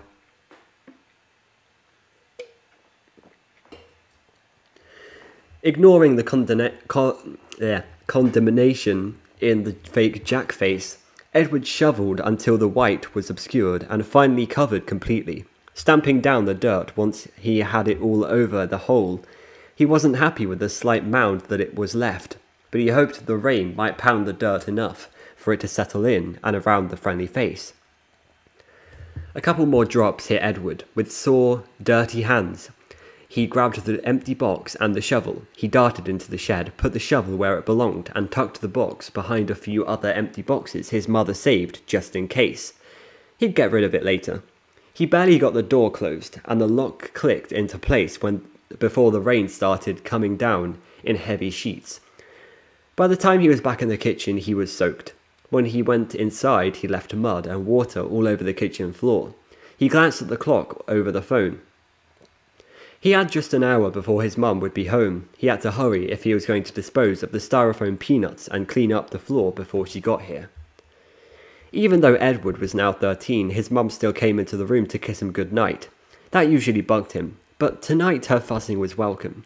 Edward was so rattled by the awful friendly face that he was having trouble slowing his breathing. The weather wasn't helping. Outside his window, the storm had that had just beg- that had begun just as he finished burying the Jack Cat robot thing was now slamming into the house like an army storming a castle. Every clap of thunder sounded like a thwack of a catapult being loosed upon a fortress. Every blanket of rain that rattled against the side of the house sounded like a spray of arrows beating down on the poor beleaguered inhabitants of the stronghold. That was how Edward saw himself and his mother, two defenceless commoners, huddled against the onslaught of the enemy, unable to defend themselves. All evening, Edward recoiled every t- recoiled every time the thunder boomed. After the third time, he pulled him into himself like a turtle hiding in its shell. His mum said, "Edward, what in the world? You've never been afraid of thunder before." "It's not the thunder," he said. "Then what is it?" Her hair was down for the evening. It hung around her face, making her look much younger and friendlier than she did when she had it up for work. She peered at him as if she could figure out what was going on with him by looking hard enough. He shook his head. It's nothing. I'm just being weird. You're not weird, his mum said. Edward laughed. I thought you lawyers had some code that didn't let you lie. His mum smiled. That's true, but I am allowed to bend the truth a bit. You're not weird. You're unique. Edward laughed again. Then the rain pummeled the windows once more. He jumped up. I think I'll go to bed early. Now at his bedside, his mum felt his forehead. You feel a little hot. You might have a fever. Maybe that's why the storm is bothering you this evening. Edward shrugged. Maybe. It wasn't exactly a lie. He was he just might have a fever, and it could be adding to the trepidation that sat on his chest like a gargoyle. Do you want me to take your temperature? His mother asked. Oops. I'm not a baby, Edward said. I can take it myself, but I'd rather go to sleep now. His mum pressed her lips together, then nodded. She leaned over and kissed his cheek. I love you, kiddo. Love you too, mum. His mum gave him one last look, walked to the door, turned off the light, and left the room. Edward wasn't ready to close his eyes, so he blinked and let his eyes adjust to the near dark. As soon as they did, he could make out the various items in his room Enough light came in under the door from the hallway to illuminate the outline of his desk, still mostly buried under a pile of clothes he refused to move, and the sharp contours of his shelves. A small nightlight on the other side of the room cast a glow that, hit, that lit up his bulletin board just enough to remind him of the photos he still couldn't bring himself to look at, nor take down. Edward felt as stiff as a corpse. He groaned, now, why did he have to compare himself to a corpse? What was wrong with him? Why was he letting the friendly face bother him so much? It was just a stupid toy that went wrong. He shuddered and pulled the covers up to his chin. Or was it? The problem was, it wasn't just a toy. It was something designed to be animated, something that contained his dead friend's DNA. He didn't want to think about the thousand and one ways that he that could be bad. Stop it. Edward hissed at himself. He needed an imaginatommy, or whatever they might call it if one's imagination could be cut away from a person's mind. He, his was way too sinister tonight. Edward forced himself to close his eyes. He concentrated on a logic problem from math class and eventually he relaxed enough to fall asleep. Edward sat up in his bed. He was perfectly still. He listened. Something had awakened him. But what? Outside, rain still drummed on the roof. The thunder was so loud and so powerful that each reverberation made the house shake. Was that what had yanked him out of sleep? He frowned and kept listening. He didn't think so. The sound that disturbed him hadn't been an ordinary sound, and it hadn't been a loud sound. It had been a subtle sound, and uh, a sinuous and sly sort of sound. Something like a pattering, but not a friendly pattering like the rain. Edward reached over and turned on the small brass lamp that sat on his oak nightstand. As soon as he rotated the, the switch, a bolt of lightning lit up the shade pulled over his window, and his nightstand light out light went out. So did his nightlight. The storm had taken over the power. Great. That was just great. Edward felt around in the dark and pulled open his nightstand drawer. He grabbed his flashlight and turned it on. I'm getting uh, uh, out of stock vibes from this. Hesitating to see if he could talk himself out of believing he'd heard something, Edward failed to do so and forced himself to get out of bed. He listened intently, concentrating on peeling back the auditory layers of the storm so he could hear whatever that was skulking under those more assertive sounds. Was what? Uh, sorry, what had he heard? Edward shone his light this way and that as he crossed his room. Nothing was out of place. When he reached the door, uh, he cautiously opened it. He peered out and pointed the beam of his flashlight down the hallway. The hall was empty. Edward tiptoed down the hall and aimed his light into the living room. It looked perfectly normal. From behind his mum's closed door, he heard snoring. She was a heavy sleeper. Edward continued his tour out of the house, checking in his mum's home office, in the bathroom, and in the kitchen. Nothing was out of place. He returned to his room, got in bed, and turned out his flashlight. As soon as he lay in head, his head back on the pillow, he heard a creak. Edward stiffened. Had he imagined that? If he hadn't imagined it, did it mean something was in the house? Something? Why did he think something? Wouldn't it be more reasonable to think someone? Reasonable, sure. Accurate? He didn't think so. He waited, again trying to listen past the storm. A faint scrape came from a, up from outside his door. Edward flipped on his flashlight again. He shined it at his door, spotlighting the doorknob. All the slowly turning doorknob scenes in every creepy movie he'd ever watched started running through his mind, and by the time he'd gone through just a few of them, he could have sworn his doorknob was turning as well. But was it? Wanting nothing more than to hide under his bed, close his eyes, and cover his ears, Edward took a deep breath and threw back the covers, keeping his gaze on his doorknob, which didn't seem to be moving at all. Did it? He crept across his room, leaned against his door, and listened. Rain continued to batter the house. Between blasts of wind, thunder detonated, always just a second or so after the room blazed bright for an instant. The lightning was hitting close by. Between the rain's thrum and the thunder's bellows, Edward had trouble picking out any other sounds. But wait, there. What was that? He frowned, pushed harder against his door, and concentrated. Had he imagined that sound? No. There it was again. It was a chittering sound, something like metal tapping on wood, only really fast, or like marbles cascading down a metal tube. What was that? You see, at this point, I'm taking what he's saying with a grain of salt because I read Pizza Kit and didn't realize that half of it was a nightmare, and then I regretted it. Um, I don't. I don't think this is a nightmare, but um, it might be. I don't know. Oh. Edward gripped his flashlight hard and opened his door. His flashlight was pretty bright, 2,400 lumens, so he was able to brighten the entire hall when he aimed the light straight ahead. The hall was, as it had been before, empty. He swung the light toward the opening to the living room. Shadows from beyond the opening hunched in wait for him. He listened for another few seconds, and when he heard the sound again, was it more skittering than chittering? He tentatively moved toward the living room. As he went, his light and his head swiveled this way and that. Why couldn't he tell where the sound was coming from? It had to be the storm. The cacophony outside was disrupting his ear's ability to pinpoint direction. For one second, he thought the sound was coming from behind his mother's door. But no, that was just her bed creaking when she turned over in her sleep. She, he was pretty sure. The next second, he thought the sound originated in the living room. But when he stepped into that room and shone his light right, left, and centre, he saw nothing out of place. Then he heard the sound again, and it seemed to be coming from just inside the back door. He slunk into the kitchen, then quickly aimed his light at the door. It was closed tight, the deadbolt in the right position. He heard a click and shot his light to the left. Nothing. It must have been the refrigerator. Shaking his head at his paranoia, Edward muttered, Just go back to bed and make an opossum. Would you? What's an opossum? I have no idea what an opossum is. Oh, make like an opossum. Okay. I, I, I thought it was like a cake or something. Go back to bed and make like an opossum, would you?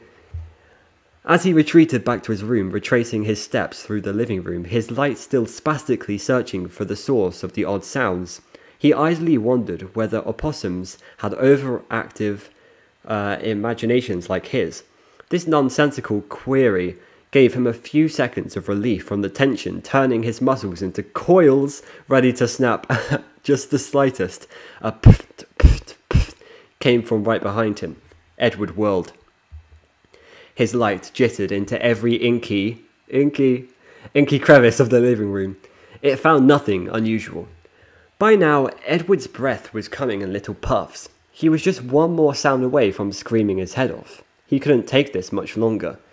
Edward scuttled down the hall, dashed into his room, and yanked the door shut behind him. He pointed the flashlight all over his room.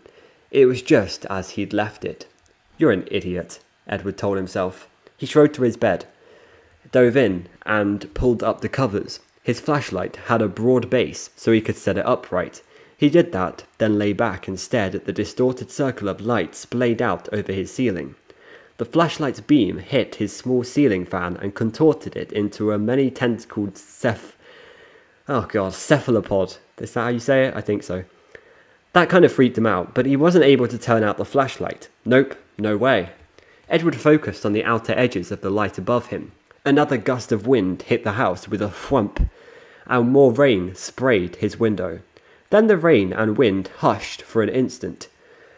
In that instant, uh, Edward heard tapping, clear, distinct tapping. It sounded like a small animal prancing down the hall. This time, Edward didn't hesitate. He leaped from his bed, grabbed his flashlight, strode to the door, and threw it open. He aimed his flashlight at the door, sure he was going to light up whatever was approaching his room. Nothing was in the hallway. Outside, the storm's decibel level went back up. The opening to the living room brightened as lightning speared the night again. Thunder roared before the living room even had time to, be- to return to its gloom. The wind picked up and it shrieked around the house. It sounded like angry banshees were descending on the house in abject fury. But even through all that clamour, Edward heard another sound. This time it was a ticking sound, but not a regular ticking sound like a clock. Tick, tick, tick, tick, tick, tick, tick, tick, tick, tick, tick. The last five ticks came very fast, and then nothing but the storm. Edward felt like he was going to cry. He couldn't remember ever being this scared. Well, except for those few seconds before Jack and Faraday. Edward moaned and turned to run back into his room. He slammed his door behind him, not caring what, whether it woke up his mum, even secretly hoping it did wake her. He wouldn't have admitted it to anyone, but he wanted his mummy. Badly. Edward jumped back into his bed, literally, and curled up into a ball under the covers. He held his flashlight to his chest, cradling it like a teddy bear. If only he had a teddy bear. Edward rolled onto his back and concentrated on calming his ratchet, ratcheting breath. You're making it all up, he told himself. It's all in your head. That's what I said. Uh, he needed a distraction from his out of control, evil fantasy world. He decided to use what had worked for him in the past. He would recite pi. Oh, I know pi. 3.14159265. uh, out loud, Edward began. 3.14159265358. His heart, be- the next digit is 5, by the way, you can go check. Uh, his heart rate began to slow. His muscles start- started to relax. He stopped reciting, put his thumb on the flashlight switch, and resolved, turned it off. He clapped the flashlight in his hand, but he let his hand fall down by his side. He returned to his nice tranquilizing numbers nine seven nine three two three eight four six two six four three three eight three two seven nine five zero two eight eight four one nine seven one six nine three nine three seven five one zero. Why is that here? Okay. I don't think you need to recite all of those, but whatever. Uh, his eyes dro- drooped close. Uh, his eyes drooped closed. He felt sleep slip in and wrap its comforting arms around him. He let it take him away from him. A clunk, followed by a shush, ripped Edward from his sleep. He pulled his arm from under the covers and turned on his flashlight. Its glow landed on the end of the bed, and Jack's mud streaked, smiling face. Edward screamed and screamed. Continuing to scream, Edward flat th- thrashed backward in his bed, his legs kicking out. His covers got caught in his gyrating feet, and the sheet and blanket pulled off the bed and landed in a pile on the floor. Edward's bedroom door burst open, and his mother ran into the room, her own flashlight bobbing out in front of her. Edward? She was out of breath. What in the world? In a half second, Edward took his mum took in his mum's tangled hair, her pale makeupless face, her wrinkled nightshirt. Then he looked beyond her, trying to spot the familiar visage that he knew was attached to a robo- robotic cat. It was no longer at the foot of his bed. Where did it go? It had to be in here someplace. Of course, it's all in his head because he's guilty of all of it. Oh, God. Another one of these stories. he hadn't imagined that face. It had been that horrible manufactured Jack face, and it had been staring right at him. But how? With shaking hands, Edward shined his light around the room. Edward? His mum repeated. He worked his tongue around his mouth because his mouth was too dry to speak, a little bit like mine right now. Sorry, Mum, he said finally. She rubbed her eyes. What happened? Edward kept shining his light around the room. He kept looking for even a hint of movement, but he saw nothing that wasn't supposed to be there. He looked at his mum. I was sure something was in here. She straightened and then bent over again and picked up his covers. Setting down her flashlight, she arranged the covers on the bed. Edward realized he was still crouched by his headboard. He made himself stretch out his legs and he slid them under the sheet and blanket. His mum sat on the bed next to him. It's the storm. It messed with my sleep a little too. Edward nodded. Come on, let's get you tucked back in, his mum said. He let her baby him. He could feel himself trembling, and he hoped she didn't notice. The storm moved on to torment a different town just before dawn. Edward was awake to listen to it withdraw. He was awake all night. For reasons he didn't understand, he had never heard another odd sound after his mum returned to bed, and he hadn't seen Jack's face any more that night. Where had it gone? He spent the better part of the night trying to figure out whether he'd imagined the dirty, stiff white face of his friend at the end of his bed. No, that wasn't true. What he'd been doing was trying to convince himself that he hadn't seen it, that had been some weird trick of the light, a misperception, his brain turning a lump in the covers into the Jack features. But he knew he was deluding himself. He'd seen what he'd seen. Maybe he's just hella high. Jack's face had been looking right at him. It wasn't something that looked like anything else, but Edward sure wished it was, because after that night he began seeing the horrid Jack face everywhere. The first time Edward saw the Jack face again, he was getting off the bus at the end of the day after the storm. Apparently, his classmates had stopped feeling sorry for him, and now they were mad at him for, suggest- uh, for suggesting Schrodinger's cat as a paper topic. I love that topic of Schrodinger's cat. Uh, pausing to flick off a spitball that hit him just as he went down the bus's steps, his gaze landed on the yellow mums that surrounded Mrs. Phillips's baseball cap wearing gnomes. Her gnomes wore the caps starting in September until the World Series was over. Can I just say, this is a very creepy idea of like the face appearing everywhere he goes. Um, oh, it's very reminiscent of the uh, the Fredbear plush. Huh? um, also, uh, Schrodinger's cat. It's funny you should mention that because that is a cat that's in a box and you don't know if it's dead or alive, if it's got a 50 50 chance of it dying. I guess that could have like um, connections to this story. Like, like it's you don't know if it's dead or alive right now because it's all in his head, right? I don't know.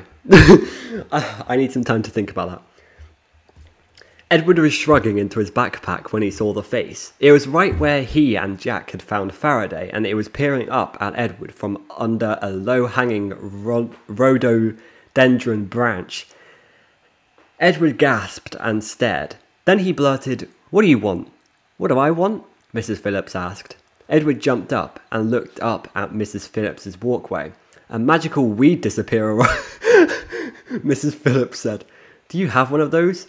The widow was kneeling at the edge of her walkway, pulling weeds. Long grey hair spilled over her hunched shoulders. She wore a bright fuchsia running suit and a purple tennis shoes. a purple tennis shoes. Oh, hi, Mrs. Phillips. I didn't see you there. She frowned at him. brushing dirty fingers across her tan, lined face. Then who were you talking to? Huh? Edward flicked his gaze back down to the flower bed. Jack's face was gone.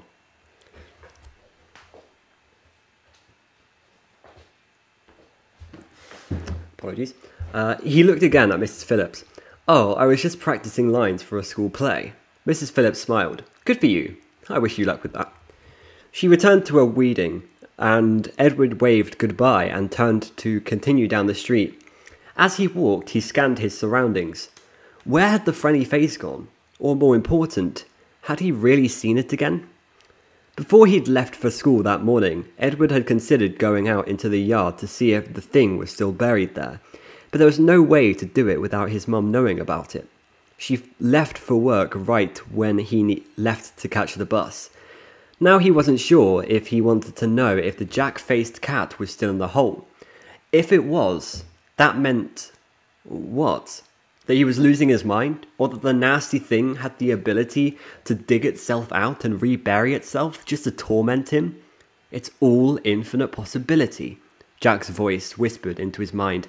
Unfortunately, Ed wasn't a plan of uh, wasn't a fan of duality right now.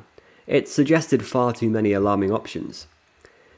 Edward hurried up the sidewalk. In dizzying contrast yesterday and the previous day, today was mild and sunny. Several people in the neighbourhood were, cl- were out cleaning up debris from the storm.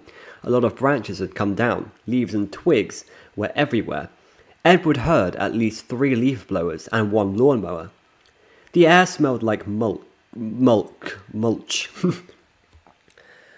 Just before Edward got to his own walkway, he caught a glimpse of something white out of the corner of his eye. Turning, he was sure he saw the jack faced cat trot around behind his neighbour's house. Edward starred. St- starred? Stared. Should he go after it? He felt his legs start to shake. Well, there was his answer. He was too much of a coward to go after the thing and, what, confront it? Destroy it? He had no idea what to do. So, he'd do nothing. Edward ran up his walkway and scrambled, uh, scrabbled at the lock on his front door and dashed inside. He slammed the door behind him. Leaning against it, he took several deep breaths. Should he go into the backyard and dig? He had to. Heading to the door before he could change his mind, Edward went out into the backyard and looked at the spot where he'd buried the jack faced cat. The mound was flattened down, but the rain could have done that. Given that a small puddle had collected on top of where the mound had been, that was likely. Other than the puddle, the area looked just the way Edward had left it. Edward? Edward spun around. His mum stood on the back deck. What are you doing? she called. Oh, just checking for, um, storm damage. Good thinking. That's why I came home early. Want to help me do a little yard cleanup? So much for digging up the hole. Edward couldn't help but notice he felt relieved. By the time Edward went to bed that evening, he was too tired to even care what the friendly face was doing, and the next day the kids at school were so der- derisive, he began to think it might be nice to have the friendly face around after all. Maybe the freakish robot was the only friend he would have to he would hope to have. But no, he didn't want that thing as a friend. He didn't want it at all. Which was why, by the end of the week, Edward was a fidgety mess of overreactive nerves. It didn't seem to matter what he wanted. He kept seeing the jack faced cat everywhere, or at least he thought he did. When Edward and Jack had been in junior high school, they'd ferreted out all of the good secluded spots in the building, places they could hang out without encountering other kids. They'd often talked about how their first task as a freshman would be to find those sorts of places in the high school. Well, Jack wasn't here to help, but Edward still went looking for a seclusion, for seclusion, and he found it in an old, unused supply closet under a back stairway in a hidden courtyard behind the teacher's lounge, behind a section of collapsible bleachers in the gym. But every place he found, the jack-faced cat found too. He only got to use each of his reclusive spots once before he spotted the face peering at him from the deeper shadows of the hidden areas. That's so creepy. Twice he was sure he saw the friendly face hunched over the uh, hunched under the bushes near the school's entrance, tucked among the leaves, just out of view of the casual passerby. At home, he spotted Jack's face in the bushes and plants in his yard, poking up through the hydra- Uh, hydrangeas I don't know flower names outside the kitchen window. Peering past the boxwood hedge outside the living room window and lurking in the branches of the drooping forsythia bush under his own window. And the sounds he'd heard the night of the storm, now he heard them everywhere chittering, ticking, bizarre pneumatic pattering sounds. He heard those all the time now in his hiding places at school, in his house. He'd heard the strange, sibilant pitter patter outside his door every night this week, whoa, what if he, what if he's, um, what if he's like living in a dream? And he can and he can hear the outside thing, but he's like paralyzed in a dream or something. That, that's a weird theory. Uh, that's a terrible theory, actually. Uh, granted, he never opened his door to see just what was out there, but he had slept with his lights on. He'd wait until after his mum went to sleep and he'd turn on the brass lamp. The first night, he didn't sleep well with all that light. The next night, though, he went right to sleep, probably because he was so exhausted from two nights of practically no sleep. Now it was Friday, four days since the storm, and Edward still hadn't gone up to dig the jack faced cat's grave. Two days after the storm, it had started raining again, and it hadn't stopped until today. The sun came out at noon, while Edward ate his peanut butter sandwich by himself next to a window in the school cafeteria. It was then that he decided he had to check the hole when he got home. If the friendly face was still there, he might have to ask his mum to take him for an MRI. Maybe he had a tumor, or maybe he was he, maybe he was going crazy.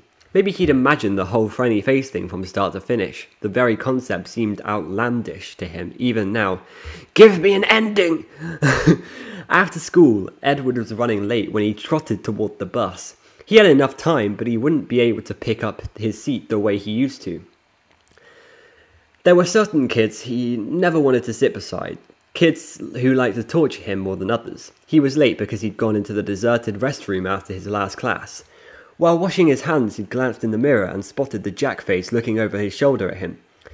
But when he wheeled around, there was nothing there. He thought he held a pattering behind a vent cover that looked askew, and he was debating whether he should check it when three other boys had burst into the restroom. Edward had been forced to run before they tried to stick his head in the toilet. A bit like Col. Uh, what was his name? Colton. I, I believe it was Colton. Colton from uh, from what we found, who got his head stuck in the toilet. Uh, uh, now Edward was just a few feet from the bus when Eddie, one of the particularly obnoxious guys in his class, deliberately bumped into him. Edward staggered and almost fell. He was close enough to the bus to put out a hand and catch himself. When he did, he got a glimpse of the jack face peeking out from behind the bus bus's back fender. It was clinging to the emergency exit, hidden between uh, Edward's bus and the bus behind, down low where no one except Edward could see it. It was on his bus. Edward backed away. He was bumped again, this time by Julia. Which way you're going? she snapped at him. Sorry, he didn't even look at her pretty wavy hair as he continued to backpedal. The buses, the buses in front of Edward started to roll forward. Coming? The bus driver called from inside. Edward looked at the wheel, well, uh, looked at the wheel, well, where he'd seen the jack face. He thought he'd saw movement, but he wasn't sure. No, I forgot something. I'll walk, thanks. Don shrugged and closed the bus door. The bus pulled out. Edward stared at it after it, but it didn't see anything except kids through any of the windows. after the buses were gone, Edward sighed. He just left his paranoia force him into a six mile walk. Brilliant. Sighing again, Edward settled his backpack more comfortably on his shoulders and started walking down the school driveway. How long is this story? Oh my god. Okay, we should be there soon. The road that led from the school back into town didn't have any sidewalks, just a narrow gravel verge that was snug up against the massive tree trunks lining the road. Along the verge, ferns and other low growing underbush created a green shaggy carpet that extended into the dusky depths of the forest. Here and there, the shaggy carpet gave way to beds of fallen fir needles. These were the paths that a lot of kids used to head into the woods. Not Edward. He would stay out here on the road, thank you very much. A few cars motored past Edward. One of them honked its horn. He had no idea who was in it. Beds. Wait. Never mind. That was a line from before. That the formatting is weird. Uh, he coughed on the gas fumes that lingered in the wake of the last car. He turned to look behind him to see if more cars were coming. He froze. No cars were coming up the road, but something was. it was the friendly face. Is he going to run him over? it was right there, clear as could be. No mistaking it for anything else. This wasn't one of those fleeting glimpses. This wasn't just a peek of the pale Jack face.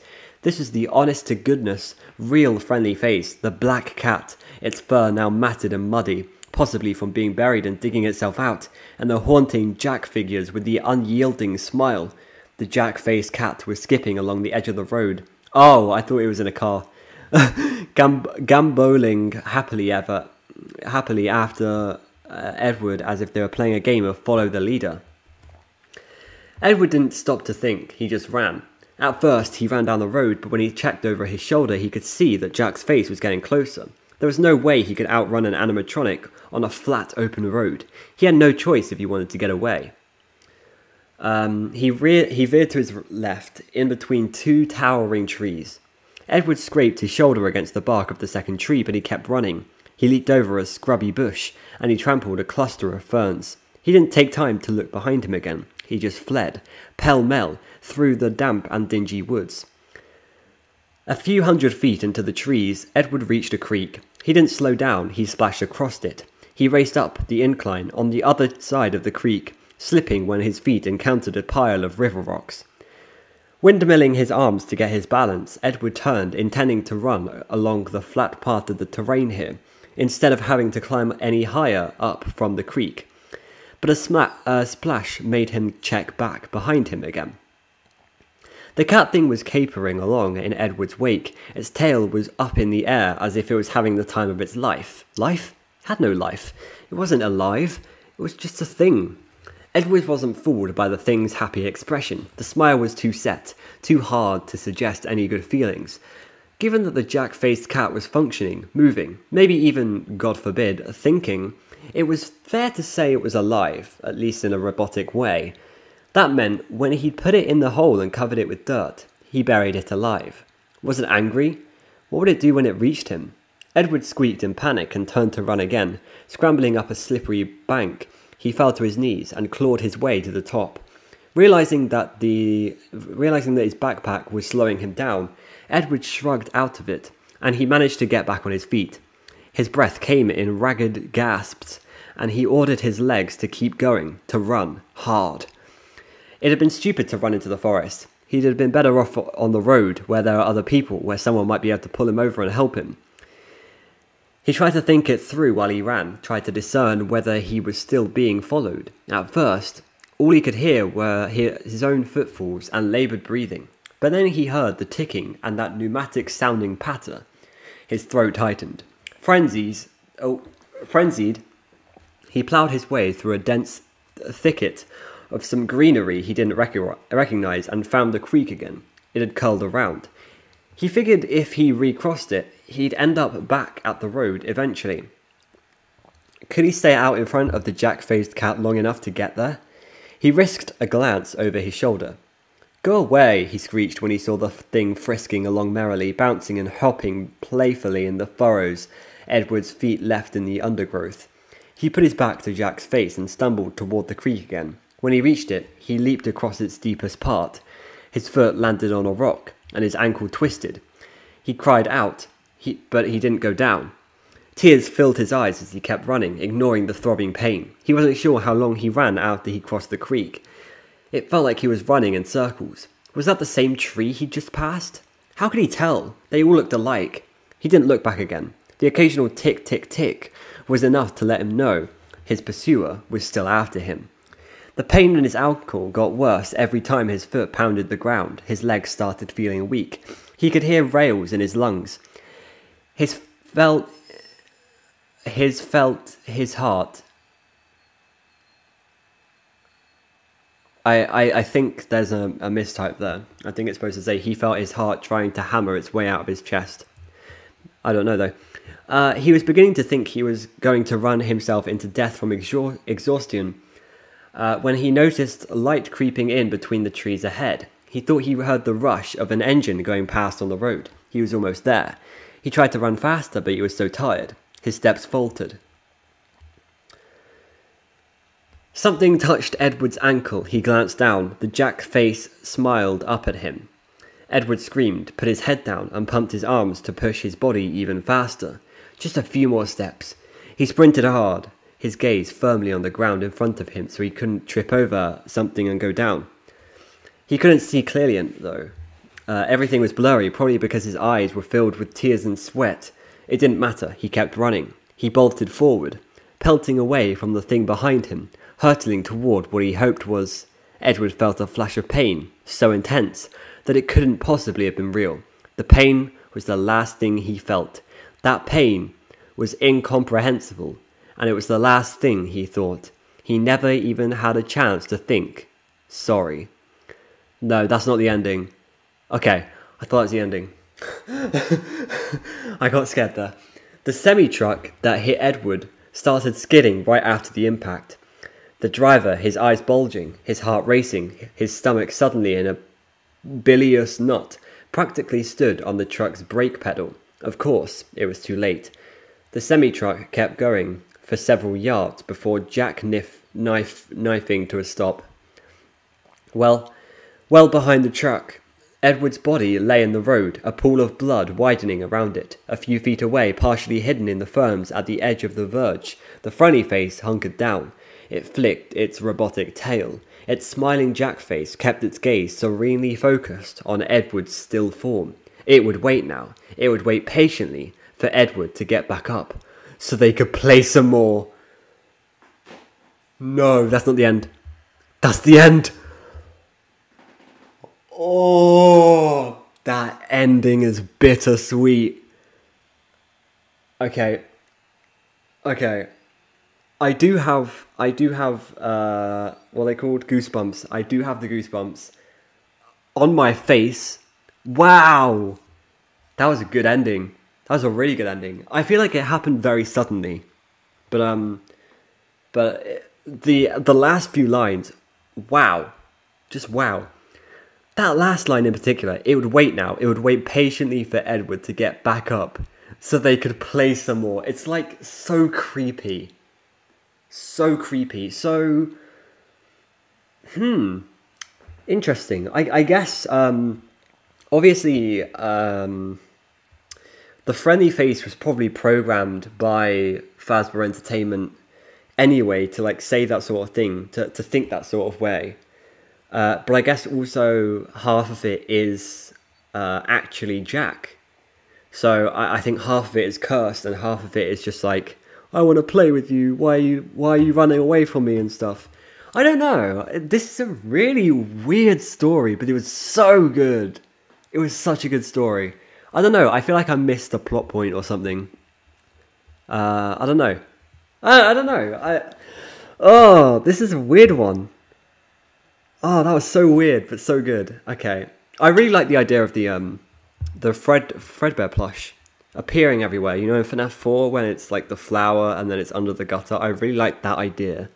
Um, and I really don't know what this could mean in terms of the FNAF lore. I think I'm going to speak to some guys after this and, and figure it out, but I don't know. like, I don't have any thoughts. Anyway, do you have any thoughts? Make sure you comment down below. Did you enjoy? This is a very long story. Apparently, this book is really long as well, including Stitchwraith. The Stitchwraith is an abnormally long Stitchwraith, so I can't wait for that. Anyway, thank you guys so much for watching, and I will see you in the next audiobook, which will be Sea Bonnies, which is exciting. see you later. Goodbye.